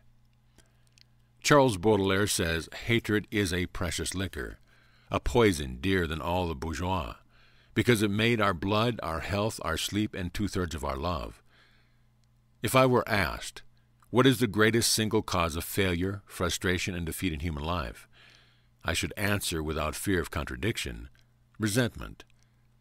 The resentful person must face this question Does my resentment accomplish anything? Elsie Robinson answered this question when she said, Even if our rage seems fully justified, and our plans succeed beyond our blackest hope, we will never get even, for life doesn't work that way. Instead of finding peace, renewed self respect, and healing from our heart, each attempt at revenge leaves us frustrated, cheated. Instead of punishing our enemies, we simply played our debasing game and sold ourselves down the river. There are thousands of reasons why no one can afford to resent or hate anyone or anything, but one of the chief ones is that it throws everything in the body out of balance and has a crushing effect upon the brain. But I have a right, you say, to resent the people who have injured me. Well, that is true. But you also have the right to drink carbolic acid, and the result is the same. You have the right to hold animosities, spites, and hate. But if you exercise your right to resent, it is slow suicide. The smart thing to do is to call the roll of those toward whom you are inclined to feel resentful, and not only forgive them, but pray for them. Never discuss the things you dislike about a person, but talk always about the things that you do like. Make your agreement with disagreement at once. Have the peace that passes all understanding, and all misunderstanding as well. Be too big to hate anybody or anything. Develop a skin so tough that you won't even know when you are being insulted or hurt. I say unto you that ye resist not evil. Chapter 31 Prosperity and Saving. Ye know not what shall be on the morrow.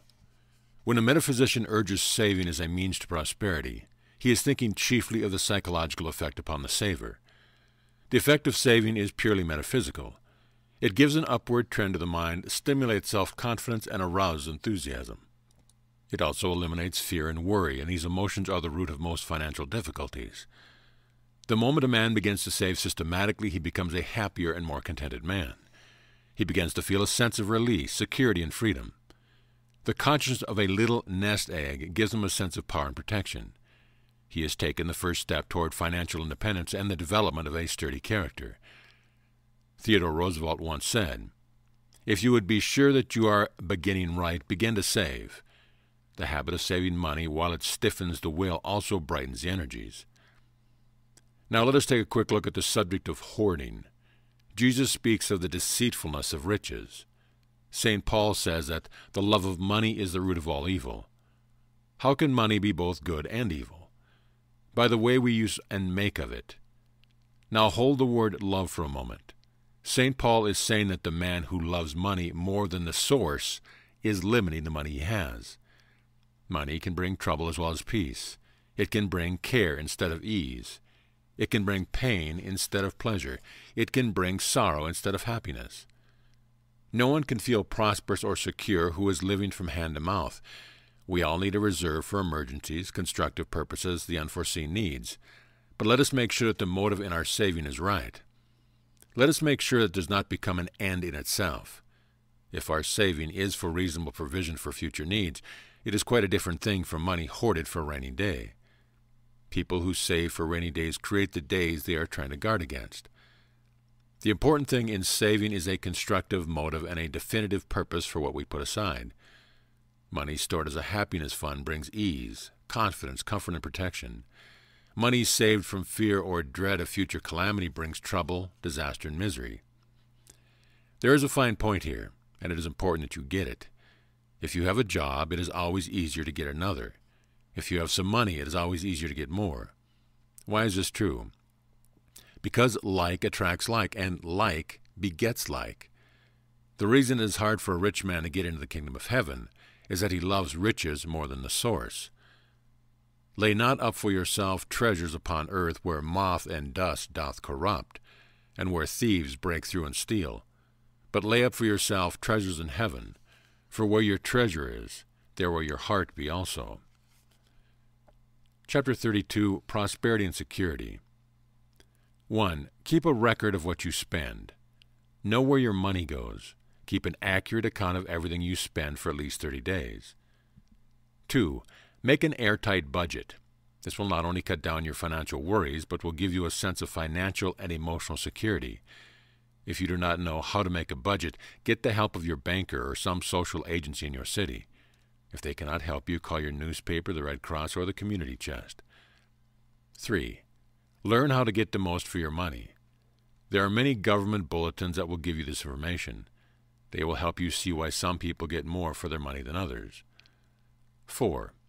Do business with your bank. If you must borrow to meet an emergency, go to a bank and not to a loan shark. The latter will complicate your life and make you miserable. 5. Carry life insurance. It is not only your greatest protection against death, sickness, and emergencies, but is also one of your finest assets. Make sure, however, that your insurance policy has a savings or cash value. If the life insurance policy is for the protection of your wife and children, put it in a trust fund. Do not have it paid to your wife in cash. 7. Buy a home of your own. There are those who will tell you that it is cheaper to pay rent, but it isn't. Buying a home is like putting money in a bank. It gives you a sense of comfort and security that no other material possession does. 8. Make a will. Determine beforehand who is to receive your personal effects and securities. A will saves time and expense and obviates much bickering and quarreling after they are gone. 9. Pay your bills when they are due. Holding what belongs to another seriously affects your income. It causes lack of circulation, stagnation. Remember that you are a distributor of God's wealth and not a terminal. Money is not yours to hold but to circulate. 10. Do not gamble. If you are tempted to gamble, read How to Figure the Odds by Oswald Jacoby. The odds are always against you. 11. Invest in dependable securities. The important thing when investing money is to know the people with whom you are doing business. If you do not have this information, go to a reputable bond house or bank. Perfect safety is more important than large returns. 12. Give to others. The real purpose in giving money to people is to make them independent and self reliant. Make sure, therefore, that your giving does not pauperize or weaken. More important than giving money is showing people how to help themselves. Every metaphysical student should also be a missionary. Divine love bountifully supplies and increases substance to meet my every need. 33. Prosperity and self faith. Have the faith of God. I am the greatest power in the world. I was with Jesus when he healed the sick, raised the dead, walked on the water, opened the tomb, turned water into wine, stilled the storm, and fed the five thousand. I was with Lindbergh when he flew the Atlantic, with Madame Curie when she discovered radium, with Cyrus Field when he laid the ocean cable, with Pasteur when he discovered vaccine, with Edison when he invented the electric light, with Alexander Graham Bell when he perfected the telephone, with Livingstone when he went into the darkest Africa. I am with all those who do the things that cannot be done.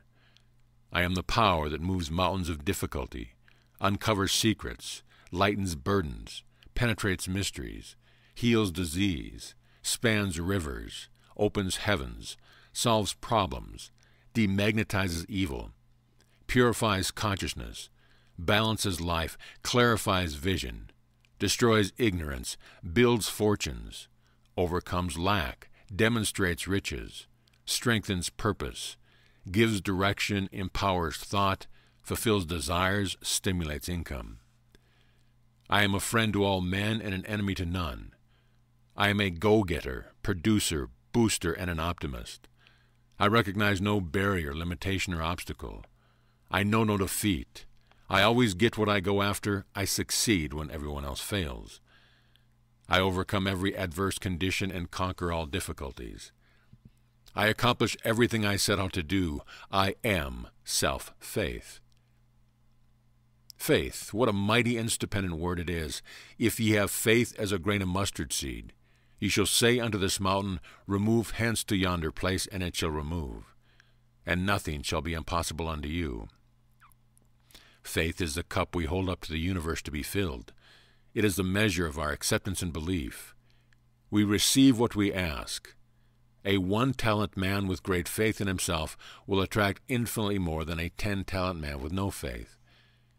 It makes no difference whether your ambition is to build a great industry, to accumulate vast resource, to amass fabulous riches, or to win a high place in your field. The one indispensable and imperative thing is an unwavering and immovable faith in yourself. If you have it, then no circumstance or combination of circumstance can ever defeat you. Are you discouraged? Are you ready to give up? Remember that it is the last blow that splits the rock. If God be for us, who can be against us? Greater is he that is in you than he that is in the world. Say these statements over and over yourself until they become integrated with the creative force of your subconscious mind. They will stimulate your self faith as nothing else will. It is not your puny little faith that you are seeking to use, but God's faith. Jesus said, Have the faith of God. In other words, get some of God's faith, and then you have that, you will have the power with which mountains can be removed and cast into the sea. It is not our faith that does the impossible and the unreasonable, but God's faith. St. Paul said, For I say, through the grace given unto me, to every man that is among you, not to think of himself more highly than he ought to think, but to think soberly, as God has dealt to every man the measure of faith. Where is this faith to be born? in the heart, subconscious mind. Then what about the failures? There are no failures except those who admit failure. The law says that like attracts like. The world accepts a man at his own evaluation. If he fails it, it is because he has lost faith in himself. It is because he has waited for luck, pull, influence, or outside capital to give him a boost. Faith without works is dead. A man must not only have faith in his ability, but must also have the energy to put his ability to work. Faith and work goes hand in hand. No man ever climbed to success on another man's shoulders. The Father that dwelleth in me, he doeth the work. Chapter 34 Prosperity and Sorrow. My eye is consumed because of grief. It is our purpose in this lesson to show that grief and sorrow not only produce sickness and disease in the body, but also loss and disintegration in the purse or material possession. But first let us inquire into the nature of sorrow. The dictionary defines it this way uneasiness or pain of mind due to loss or disappointment, unhappiness or sadness. Who is there who has not shared this emotion? Sorrow speaks a common language and comes to all alike. It is in fact the most certain of all human afflictions. There are many causes of sorrow, but the greatest cause is death. We believe that death is the gateway to a larger and fuller life, but we meet it with black raiment, armlets, ties, floral tributes, mournful music, paroxysms of pain, morbid grief, elaborate rituals, and costly trapping. What is wrong with this picture? We have our grief in reverse. Now be frank with yourself. Think of the heartaches, failures, disappointments, misery, suffering, and tragedy of living. Wouldn't it be more Christian and more sensible if we regarded the deceased with joy and happiness rather than with sorrow and gloom? If one must grieve, the logical time for grieving is at the birth of an infant. The only way that sorrow can operate in our lives is through our attitude, thoughts, feelings, and emotions. We make our sorrow by th- sad thoughts, painful memories, and self pity. We unmake it by reversing our thoughts. The cause of our suffering is not in the things that happen to us, but in our reaction to them. It is the reaction that determines the result. Remember that. We are not dealing with death, separation, and loss, but with our thoughts about death, separation, and loss. When we stop feeding our sorrow with self pity and morbidity, the sorrow will quickly heal. The cure lies in our ability to transfer our attention from self to others. Socrates said, He that grieves much is a magnet to attract waste of property. Why does grief affect our material possessions, income, and finances? Because it is a belief in separation and loss. Grief not only causes deterioration of the body and personality, but disorganization of the whole life. Fear may be the most destructive emotion, but grief is the most wasteful. It wastes energy, impairs efficiency, and withers the soul. To grieve over the passing of a loved one is natural, but to capitulate to grief is cowardly. Did you ever ask yourself what would happen if there was no death? There would be no room for oncoming generations. One generation gives way to another. Death comes to all alike. Whether it makes or breaks us depends upon our attitude toward it. The first step in overcoming our sorrow is to prepare ourselves for its coming. This preparation should be made when life is smooth, sweet, and pleasant. How? By building into our lives faith, hope, confidence, self control, intellectual poise, and reassuring hope of immortality. We must not only surrender our sorrow into God's hands, but we must occupy ourselves with some constructive and useful work for others. We must use our sorrow instead of wasting it. Since the loss of loved one by death is a universal experience, we should not be surprised when the experience comes to us. If our love for the departed one is real, we shall make him happy by being happy ourselves. He has earned his newfound joy, and we must not hamper him in his outward way. Albert Cliffe said, If we could but see with our spiritual eyes our church at the time of Holy Communion, we should, I am certain, see it filled with those who have passed on to the great beyond, joining with us in Christian fellowship, celebrating with us his sacramental service a glorious reunion for every one of you if you will only believe. Chapter 35 Prosperity and Stewardship Give an account of thy stewardship. When we know the law of giving and receiving, we know we never get anything for nothing. Jesus placed great emphasis on stewardship. There are 29 parables in the New Testament, and 13 of them deal with the right use of money. Why is this subject so important? Because a man's stewardship or his capacity to give is the acid test of its sincerity and faith in God. If he is unwilling to give, he cannot hope to receive. The certain rich man, whose story is told by St. Luke, failed to meet his test just as so many do today. People spend billions on alcohol, cosmetics, cigarettes, jewelry, perfume, and theaters, but when it comes to church and community enterprise, they give as little as possible. When will we learn that life uses the same measure that we use? With the same measure that ye meet, or that you use, it shall be measured to you again. The stingy man closes his channels of supply, the generous man opens them. But you say, I am having a tough sledding, everything is going against me. I have lost my faith in God and in everything else. Be careful, my friend. You are complicating your problem instead of helping it. You have your principle in reverse. You are creating poverty instead of prosperity. Be honest with yourself. How much of your income have you given to the support of God's work and to the relief of human suffering? Would it be less than 10%? Well, then you are robbing God. It is a sad commentary on our religious training that so many people try to get something for nothing. Their attitude toward sharing is one of evasion and indifference, and their excuse is that religion should be free. Of course, religion is free. Water is free too, but it takes money to pump it to your home. Give, and it shall be given unto you. That law is woven into the very fabric of human life. Those who neglect it do so at their peril. It is the failure to keep this law that results in much of the misery, poverty, sickness, and unhappiness in the world. Those who seek spiritual blessing and expect only to receive will never realize them. Jesus was very clear on this point. When he sent his disciples out to preach the gospel, he sent them without script or purse. Why?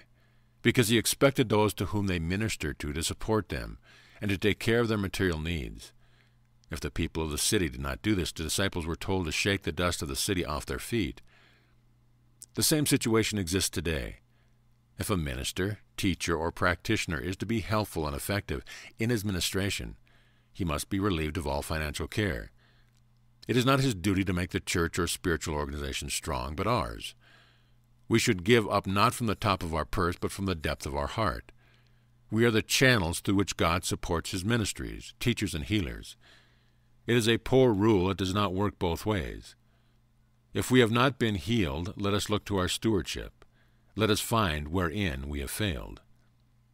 By an equality, that now at this time your abundance may be a supply for their want, that their abundance also may be a supply for your want. I give as I expect to receive. Chapter 36 Prosperity and Strain. The morrow shall take thought for the things of itself. If you tabulate the obituary notices in your daily paper, you will be impressed by the fact that most of the men who die in their early 40s and 50s are the aggressive, dynamic, progressive go getters.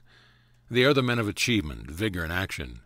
They are the top notchers who have something on the ball dynamic men, forceful men, energetic men, worried men, anxious men, crowded men, hurried men, overextended men, strained men, dead men. But why? Why did so many break down and go to pieces? Why the number who die of hypertension diseases? Because the pressure of living beats them to pieces inside. There is no quiet in their souls. They are filled with hurry, worry, friction, and strain which the body cannot stand. On the human side, it gives us a sense of pride to be referred to as a human dynamo, but it is the human dynamos nowadays who are always burned out when they are needed most. Perhaps you are one of the persons who are right now riding on the rims and headed for the shelf. Why don't you have a checkup and find out? It's a good practice and it may save your life. If you find that you are a bridge crosser, do something about it. Find out if you are living in the present or in the future. You can meet all the problems that can be crowded into one day, but you cannot carry tomorrow's load with today's energy. Be frank with yourself. Are you mentally crowded, worried, fearful, hurried, and overburdened? The mind goes to pieces under the impact of such thoughts. Change your mind. Are you all wound up? Then let go. Unwind. The surest way to eliminate strain is to live one day at a time. It is all that your heart and mind can carry with safety. Do one thing at a time. Breakdowns come from lack of reserve power. Be still and know. Relax and let go. You need the peace, poise, power, and balance that comes with silence and stillness. Practice periods of stillness many times a day. Everyone should hold a silence and meditation at least once a day. Go by yourself for 15 or 20 minutes and contemplate the divine presence of supply. Seat yourself in a straight back chair, close your eyes, relax your body from head to foot. Meditate upon some such prosperity statement as these I and the Father are one. I inherit the wealth of the universe, and it eagerly and actively seeks me out, pouring its great wealth upon me. The riches of God's kingdom flood my whole being. Then imagine the thing you want and ask God for it. Know that you have received what you have asked and continue to give thanks for it until the desire is fulfilled. Eliminate the waste of noise. A noisy life is an impotent life. A disturbed life is an uncertain life. Noisy voices indicate shallow thoughts. If you would live a long, healthy, and prosperous life, tune out the voices and enervating noises within you. Make haste slowly. Green fruit is never sweet. Wealth that is not related to your consciousness brings disappointment, failure, and humiliation in its wake. Anxiety and haste delay the manifestation of your good. He that hastes to be rich hath an evil eye, and considereth not the poverty shall come upon him. But he that goes along with God in the realization of his abundance shall in due time receive his own. Do not try to rush the season or force the crop. Be still and know that I am God. When you make a demand on the universe, assume that it has been fulfilled. Do not dig up the earth to see if the seed is growing. Do not seek confirmation of your faith. Worry and uncertainty about the outcome of your treatment are unconscious attempts to force your good. Concern is a lack of trust. Live by indirection. Live laboriously. Think without anxiety, pray without effort.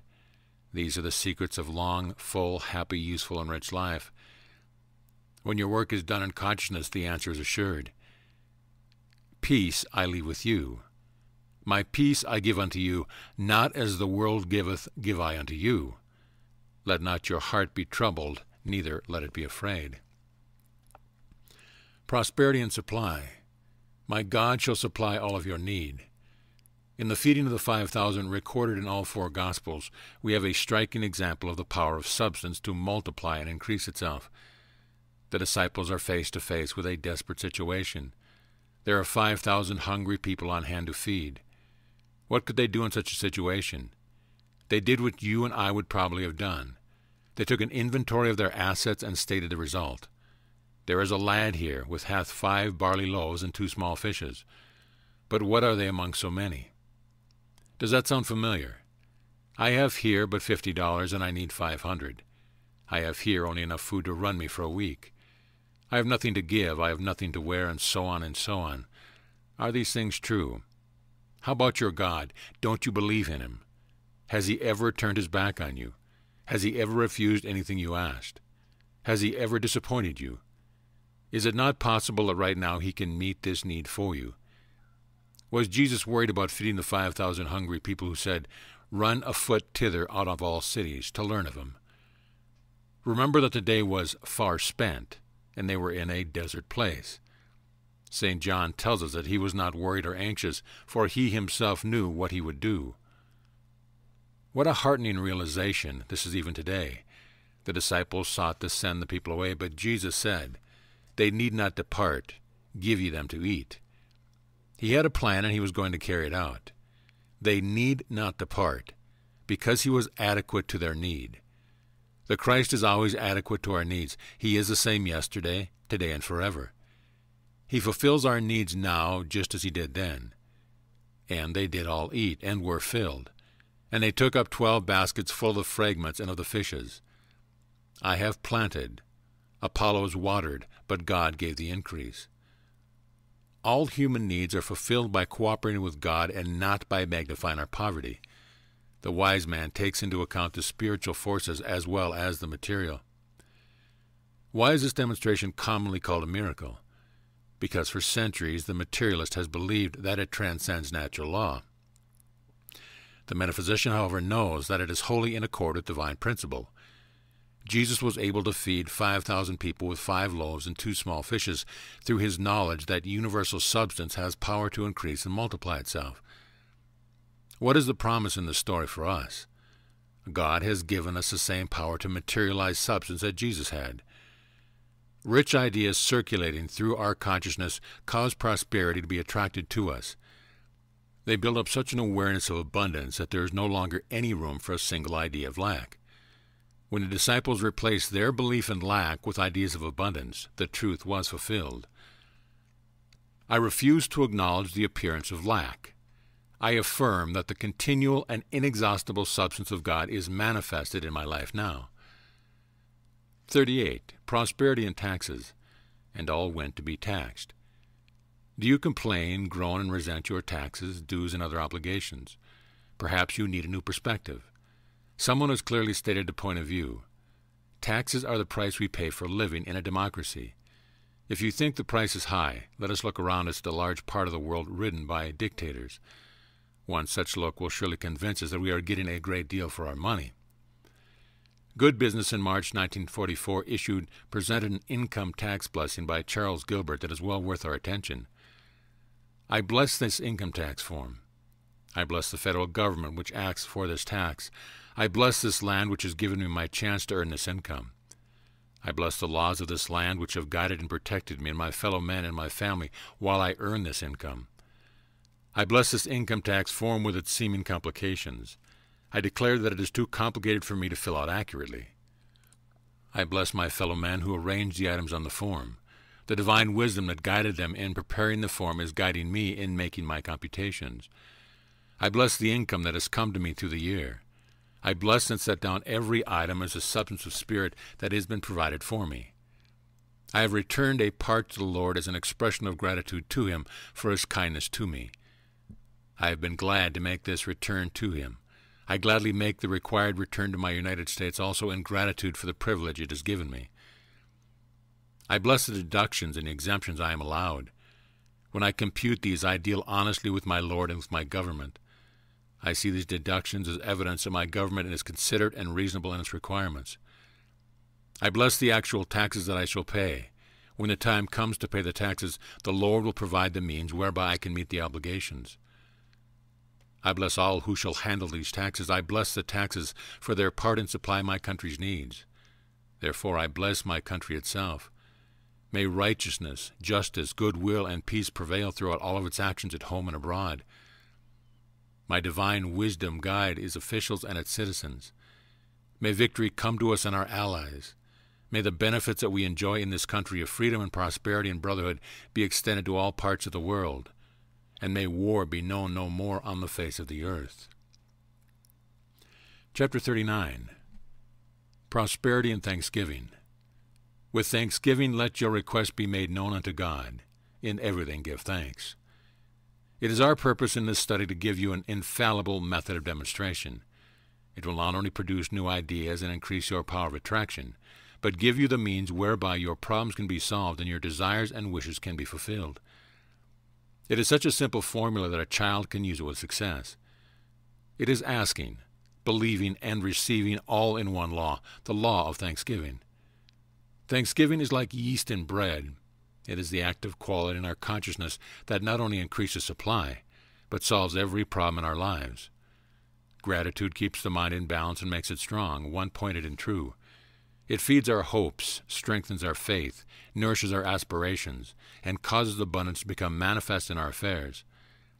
In reality, it is the great harmonizer and unifier between ourselves and God. In everything, give thanks. The whole process of mental adjustment and atonement can be summed up in one word gratitude. Wallace Wattles in financial success through creative thought. Many people who order their lives rightly in all other ways are kept in poverty by their lack of gratitude. The grateful outreaching of your mind in thankful praise to the Supreme Being is a liberation or expenditure of force. It cannot fail to reach to that which it is addressed, and the reaction is an instantaneous movement towards you. That is a strong statement, but anyone can prove it for himself. If the author were asked to name the most important emotion in demonstrating prosperity, he would say gratitude. Why? because gratitude is the only channel through which the desired good can come into our lives. What is the great and only problem in demonstrating supply? To unify our minds with the universal substance so that it becomes receptive and responsive to our thoughts. How is this problem solved? Through a whole souled and continuous feeling of deep gratitude. It is only when we fail to obey the law of thanksgiving that limited and negative conditions arise. If there is such a thing as a shortcut to demonstration, it is to be found in the prayer of thanksgiving. Genuine gratitude opens the entire being to God. It lifts us above the material plane where poverty, want, sickness, and other negative conditions hold sway. Whenever we lift our hearts in thanksgiving, we free the mind from the undesirable, negative thoughts that prevent our acceptance of the things for which we have prayed. If we had the space, we would like to give you some of the case histories of discouraged persons who did good and did not begin to move until they made the prayer of thanksgiving their own. Then their diseases were healed, their problems were solved, and their desires were fulfilled. The reason for their failure was their bondage to the material plane. God's gifts could not get through to them. The Bible tells us that we must give thanks for everything. Does that mean the bad as well as the good? That certainly does. We should give thanks for happiness, health, home, family, love, peace, truth, understanding, food, clothing, sleep, and money. We should thank God when we spend money, give money away, or when we pay our bills. We should also give thanks when we receive money because we recognize it as coming from the divine source. We should give thanks for the adversities, discipline, trial, tribulation, problems, and unpleasant experiences that test our mettle. Why should we give thanks for the stern experience of life? There are two reasons. Giving thanks takes the sting out of the unpleasant thing and helps us to make our agreement with them. Let the words that follow be your first thought in the morning and your last thought at night as surely as the sun rises. God's blessings will pour it upon you. I am grateful for this day and for the chance to prove my dominion over every problem it may bring. Chapter 40 Prosperity and Tithing. See that you abound in this grace also. Any system that has endured and proved itself for centuries demands our utmost consideration. Tithing is not a popular subject even in religious circles because people do not understand it. The proof of the pudding, as we say, is in the eating. If millions acclaim tithing as the true basis of prosperity, we need to do some serious thinking about it. In the old dispensation, the tithe, or tenth, was not only the portion to be returned to the Lord or law, but it was a way of acknowledging God as the source of our supply. It was never considered as a contribution, compensation, charity, gift, or reward, but as a thank offering for blessings received. It was returned to the source in the same way that the farmer returns the best seed to the soil. Tithing preserves the contact between man and his source. It keeps his person contact with universal supply. Thou shalt truly tithe all the increase of thy seed. The law says that 10% of your income belongs to the source, and to fail to return it is to rob God. When the tithe has been turned back to the source or the law, the spiritual benefits are assured. For the law of prosperity is perpetuated in your affairs. Why is tithing the true basis of prosperity? Giving with most people is accompanied by a false sense of separation or loss. Tithing is true giving, that is, sharing. It recognizes our dependence upon God for supply. It develops an opulent consciousness, which is the secret of continuous and automatic income. The soul that does not give shrivels. How is the tithe to be given? Joyously, hilariously, and cheerfully. If we give with a sense of compulsion, it is like planting vegetable seeds and neglecting to water or cultivate them. When is the tithe to be given? Upon the first day of the week. What is the tithe? The tithe is 10% of all that you receive, according to St. Paul, as you may prosper. 10% is a minimum. The tithe, by putting God first in our finances, is the solution to all our problems of supply. What are the benefits of tithing? It keeps mean, stingy, fearful, and limited thoughts out of the mind and keeps the good flowing in. To what is the tithe to be given? It is to be given up to God's work, or to that specific organization through which you receive your spiritual help. By God's work is meant work that puts man in possession of himself and enables him to live the victorious life of Christ, the life of freedom, health, prosperity, service, joy, generosity, power, and efficiency. As ye abound in everything, in faith and utterance, and knowledge and all diligence, and in your love to us, see that you abound in this grace also. Honor the Lord with thy substance, and the first fruits of thine increase.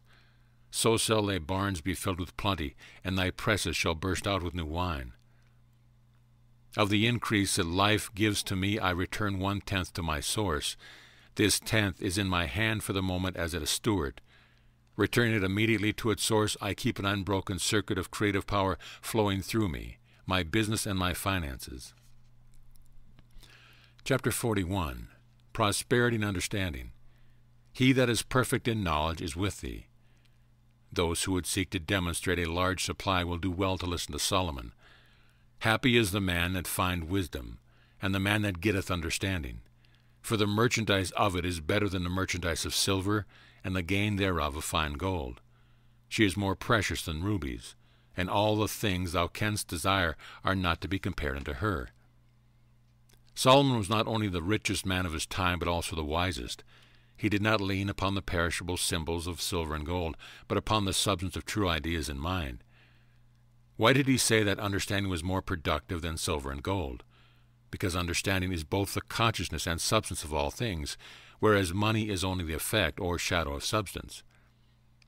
Jesus understood this truth perfectly. He never looked outside of his conscience for anything. His conscience was both the substance of things hoped for and the evidence of things not seen. Because he understood that he and the Father were one, his consciousness was an automatic and continuous source of supply. When we understand that the prayer or desire and the answer fulfillment are both in mind, we shall understand why Jesus said, What things soever ye desire, when ye pray, believe that ye receive them, and ye shall have them. If man is mind, as Jesus taught, the awareness of the desire is equivalent to its fulfillment. It is the mind that entertains the desire and the mind that fulfills it. With all thy getting, get understanding. Understanding of what? understanding that we are dependent upon ideas for our prosperity rather than upon money. If God is all good, there can be no lack of good for those who know God and apply His laws. If God is omnipresent substance, there can be no lack of substance in our affairs, our jobs, our professions, our stores, our firms, our welfare, our bodies, everything in our lives. H. Emilie Cady says, There is only God through and through and through all things in our bodies, in our seemly empty purses, in our circumstance, just waiting that invisible substance for us to recognize and acknowledge Him and Him alone in order to become visible. All else is a lie. The only true prosperity is a prosperity consciousness. Supply does not come out of it, it is permanently within it. Poverty is simply a gap in consciousness. To close the gap, we must demonstrate consciousness instead of money. We must see prosperity as an effect and not as a cause. We must see it as an idea in mind and realize that we can never be separate from it. The idea demonstrates and supports itself. When we grasp this concept, we shall see why Solomon told us to get understanding. All things are yours, said Jesus. How does one get this realization? By getting a clear picture of the desire and by holding to it through thick and thin. Be careful, however, that you do not outline or place a monetary value on it. If your demonstration depends upon a sum of money and the money does not materialize, the demonstration cannot be made. The better way is to get the feeling of fulfillment of your desire. Length of days is in her, wisdom's right hand, and in her left hand riches and honor. Her ways are ways of pleasantness, and all her paths are peace. She is a tree of life to them that lay hold upon her, and happy is every one that retaineth her. Chapter 42 Prosperity and Values The Deceitfulness of Riches. No man can serve two masters, either he will hate the one and love the other, or he will hold to the one and despise the other. Ye cannot serve God and mammon. All through the centuries, what Jesus referred to as the deceitfulness of riches and the lust of other things has produced a great share of sorrow in the lives of men and nations. We are indebted to Dr. John Holland for an article that appeared in the recent issue of The Challenge. It carries a message for every person, rich or poor, but is particularly pertinent to those whose ambition is to have great possession. we Americans, Christians and unchristian alike, have overstressed the value of material things. We learned to express all value in dollar. We had no title nobility, so we created one out of the people who had gotten together vast wealth. But in times of financial stress, our material gods did not save us. In 1923, a group of the world's most successful financiers met at the Edgewater Beach Hotel in Chicago. Present were the president of the largest independent steel company, the president of the largest independent utility company, the world's greatest wheat speculator, the president of the New York Stock Exchange, a member of the president's cabinet, the greatest bear in Wall Street, the president of the Bank of International Settlements, the head of the world's greatest monopoly, the president of the largest gas company. It is said that these men controlled more wealth than there was in the United States Treasury. For years, our magazines and some of our pulpits were holding up these financially successful men as samples to American youth. Years passed.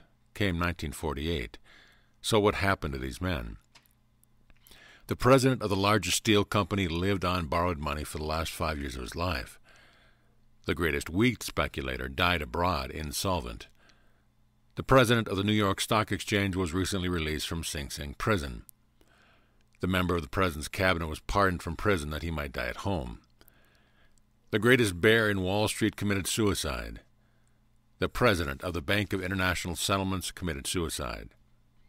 The head of the world's greatest monopoly committed suicide.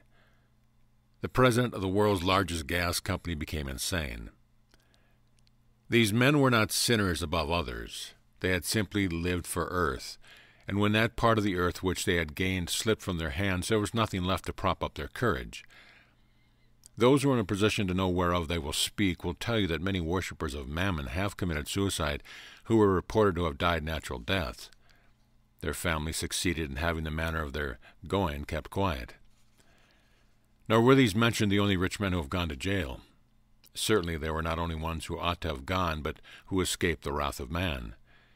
Yet they and others of their kind can never escape the sure result of their worship of the golden calf, even though they endow many libraries and hospitals as monument to themselves. Under the working of the divine law, they must reap the result of their so-called success, though the reaping be done in the world to come. If riches increase, set not your heart upon them. Power belongeth unto God. 43. Prosperity and Values. If we can show you that depressions and business slumps are purely psychological, we can show you how to rise above them. In the Great Depression of 1929, we suffered not so much from a decline in values as from a decline in man's thoughts. Everybody was trying to get rid of stocks because their value were going down. Why were they going down? Had the value of the properties in the holding of sound companies and corporations changed? Was the telephone service discontinued? Did the railroad stop running? Were automobile plants shut down? No. Well, then what happened? Why the crash? Why did everything go to pieces? Because of man's fear. The decline was purely psychological. Then where did all the money go? Why has it now reappeared? Because of another change in man's thoughts, stocks have now assumed a new value in his mind. Do you see what we're trying to bring out? The value of a thing depends entirely upon the law of demand and supply. If the demand is great, the value is high. If the demand is small, the value is low. It is just like a bone in the backyard which your dog has ceased to gnaw. If another dog comes along and takes the bone, your dog wants it back right away. So man tends to value highly the thing that the others want. The reason values change is that the thoughts of men change. If every stockholder were happy with his stocks and wanted to keep them, the market would be stable and prices would begin to rise. But fear creeps into the picture. We lose our heads and sacrifice the thing we have because we think the others do not want it. Don't you see that the stock market jitters, like all other problems, are purely psychological and must be dealt with in the mind? What is the most necessary and least appreciated thing in human life? Water. If water should suddenly begin to disappear from the face of the earth, it would immediately become the most valuable thing in every household. We would gladly exchange anything we had for it. Perhaps we should reappraise the thing that God has provided so lavishly for us. We may find that we should place a higher value upon them.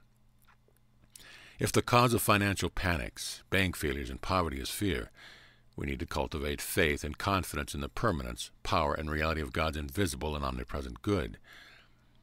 Let us not get panicky over the rise and decline of particular forms of good because they seem scarce. Let us not lose our heads because others are losing theirs. Let us hold fast to these spiritual values that do not change. Let us turn our thought to the blessing that do not fade. There is a saying that all that goes up must come down. It is true in the material world. If values are inflated, they must be deflated. If prices are too high, they must come down. But the man who lives by the spiritual law is unaffected by these cataclysmic changes. Centering his thoughts in God's unchanging goodness, he establishes in his consciousness a balance that protects him against all financial storms. In spirit, there are no hard times or good times. There is only a steady balance between income and outgo. The man who realizes this truth will not be thrown off his base during good times nor lose his balance during hard times.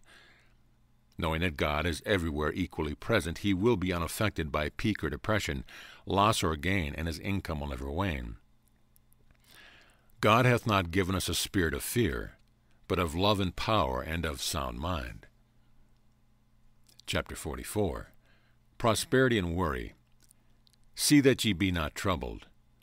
What warning is Jesus giving us in this text? He is warning us against worry. He wants us to meet the future in an attitude of confidence and faith instead of an attitude of fear and doubt. Dr. Alexis Carrel said, Businessmen who do not know how to fight worry die young.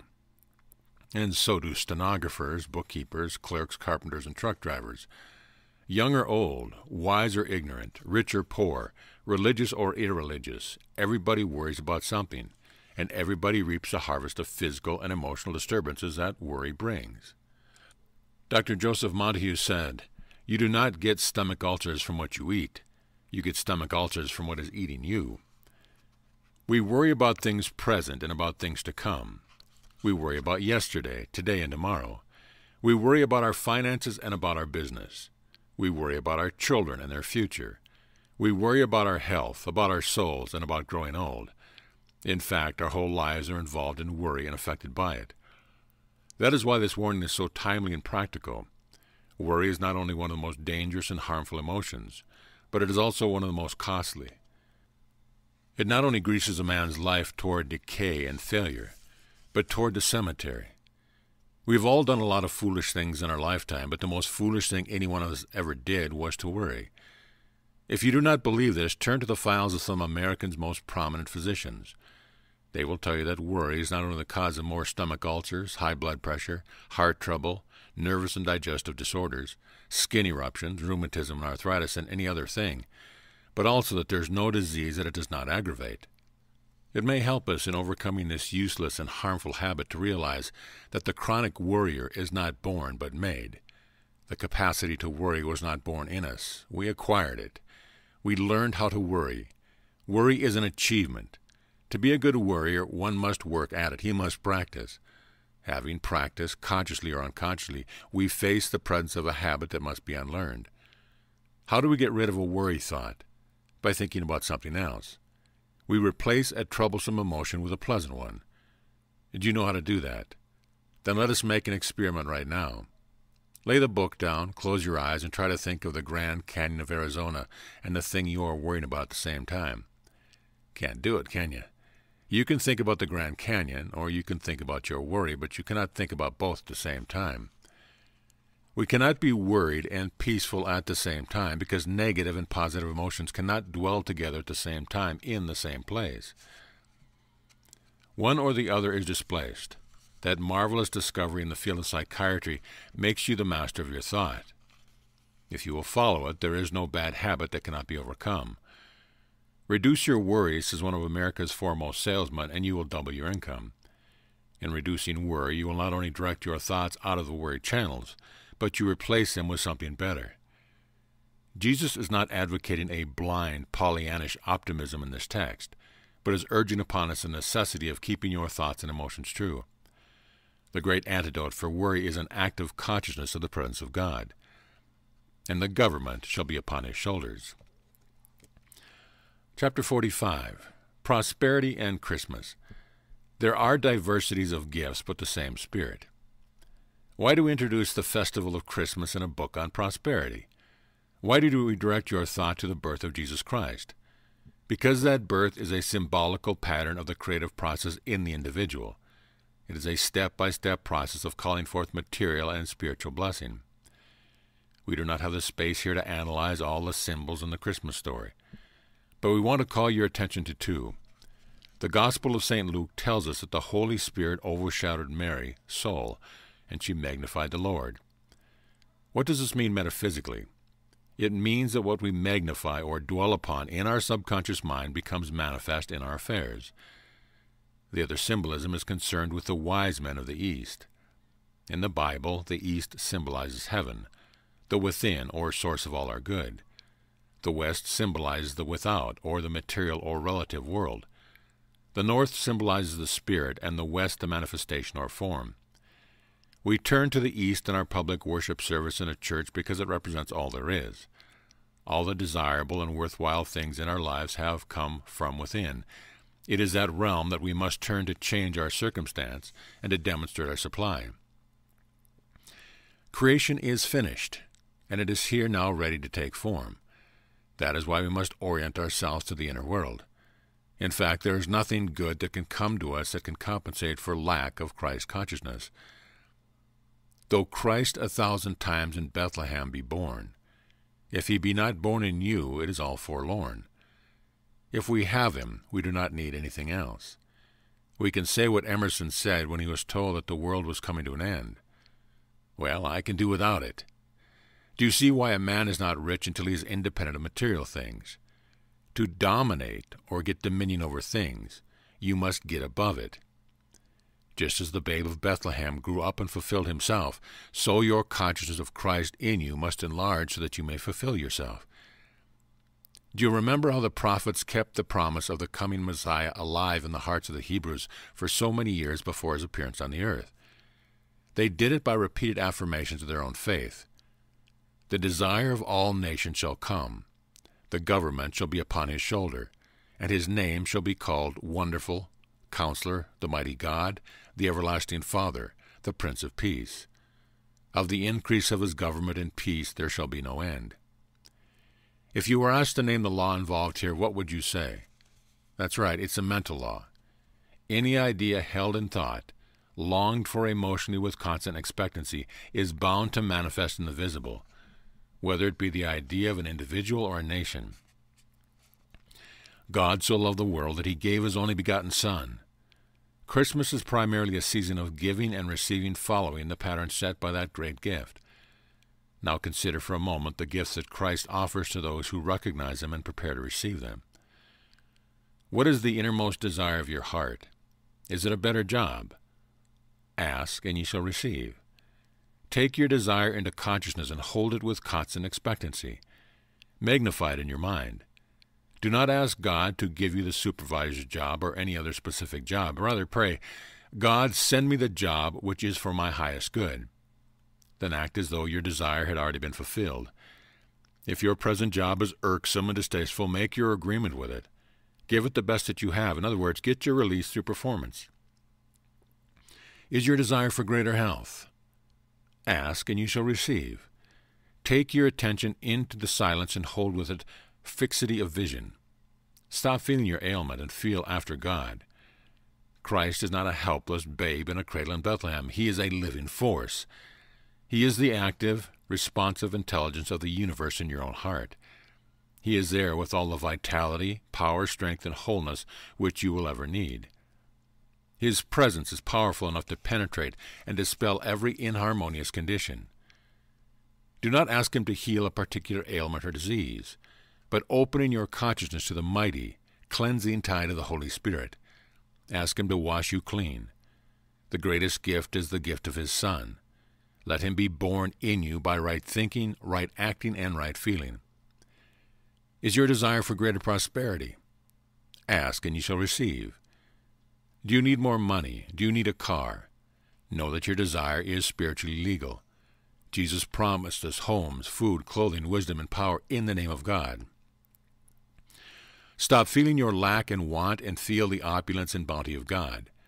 Believe that you have received. Stop depending upon your salary check, alimony, rent, pension, coupons, or friends. Pray the Lord's Prayer. Feel what you say. Look to the east. Listen to the angelic voices. Follow the star. Magnify the Lord in your soul. When you pray, say, Give us this day our daily bread. Bethlehem is the house of bread. It symbolizes everything in God's kingdom. Stop feeling your debt and lack and accept your freedom. Release everything in your life that is unlike God. Then the Christ child will come in. Are you following the star? Can you go all the way with the wise men? Then hold your desire with constant expectancy, and it will manifest in the visible. And the Word was made flesh and dwelt among us. God does not bring to birth and not bring forth. Chapter 46 Prosperity in You. Use your hidden forces. Do not miss the purpose of this life, and do not wait for circumstance to mold or change your fate. In your own self lies destiny. Let this vast truth cast out all fear, all prejudice, and all hesitation. Know that you are great, great with divinity. So dominate environment and enter into bliss. Love largely and hate nothing. Hold no aim that does not accord with universal good. Hear what the voices of the silence say. All joys are yours if you put forth your claim. Once let the spiritual laws be understood, and material things must answer and obey. In the poem Attainment, Ella Wheeler Wilcox has pointed out the work you must do if you would fulfill your destiny and demonstrate your dominion. Read the poem again, and let me ask you this question Are you using your hidden you? Do you have a purpose in life? Are you looking to God to change your fate? Have you cast out all fear, all prejudice, and all hesitation? Do you know that the you of you is great? Do you dominate your environment? Do you love largely and hate nothing? Do you hold any aim that is not in accord with universal good? Do you understand spiritual laws? If you can understand and answer these questions in the affirmative, material things will come in answer to your call. In every person, there are two yous the higher you and the lower you, the big you and the little you, the you of you and the you of John Doe. The man who learns to coordinate these yous is the one who meets success in every plane. When you recognize this you of you and lift it up, Everything on the material plane rises up to meet you. Everything in your world begins to improve, and you attract only the best from everything and everybody. You cannot, on the other hand, expect to get great results through purely human means. Why is it necessary to coordinate the little you with the big you? The little you, unaided by the big you, will accomplish very little. Emerson said, I, the imperfect, adore my own perfection.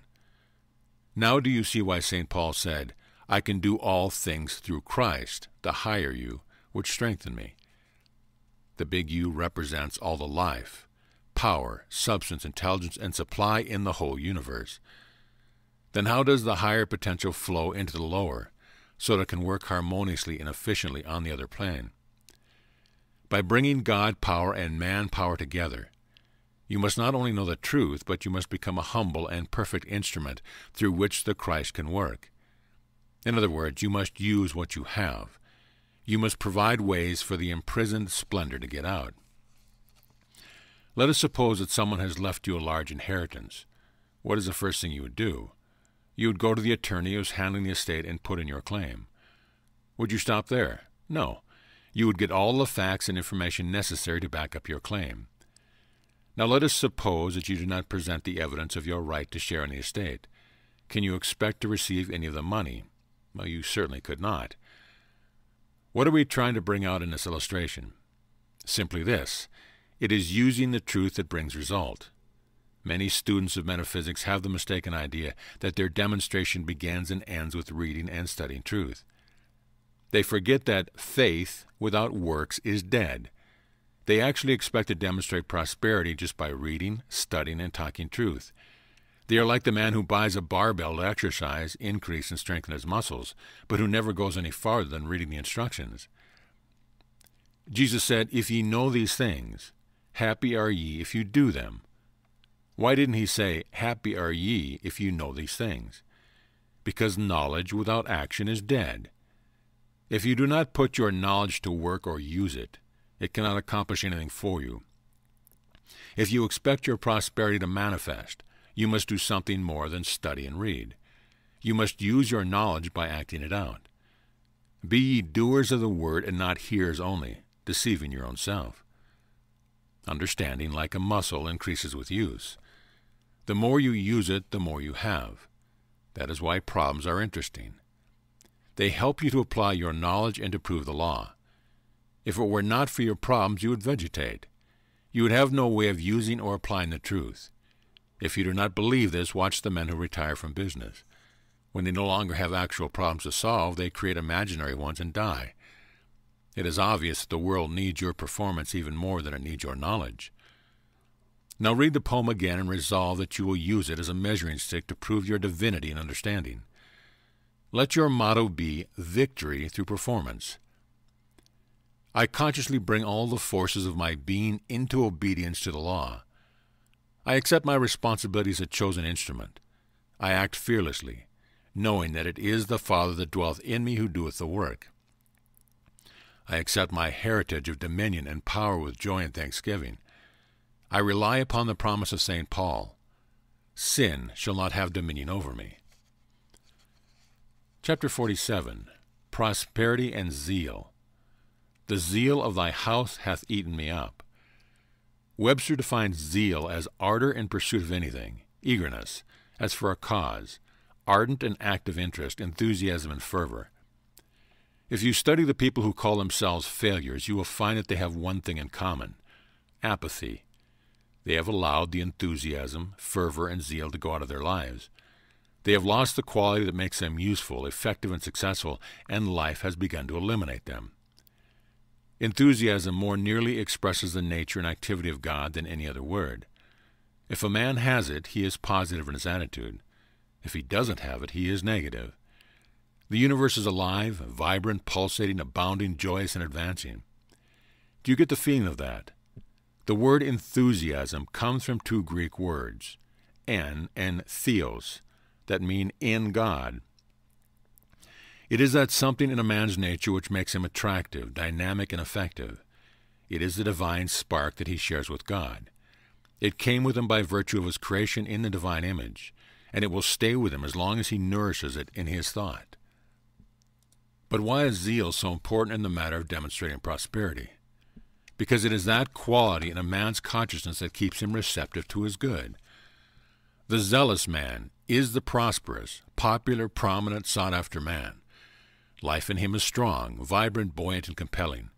He radiates power that not only sweeps barriers and obstacles before him, but attracts every good thing into his life. The zeal of thy house hath eaten me up. Zeal is an all consuming thing. The zealous man is an instrument through which the divine fire expresses itself in terms of fulfillment. Life to him means but one thing, and growth. It is thrilling to see the zealous man at work. He is like a mighty river flowing out into every area of human need. No matter how commonplace his job may be, he makes it important. No matter how hard times are, he succeeds. He believes in himself and what he is doing. If he has a quota to meet, he goes with it. If there is a prize for meritorious service, he wins it. Believing in men, he sways and influences them. End of chapter. End of book. And a little reminder to all fans of Robert Russell books we plan on publishing this book in paperback as well as his other 17 books in the next coming several months. And also, if you would like an audio copy of this book, you can purchase the audio book in the link below in the description. As always, thanks for giving us a listen.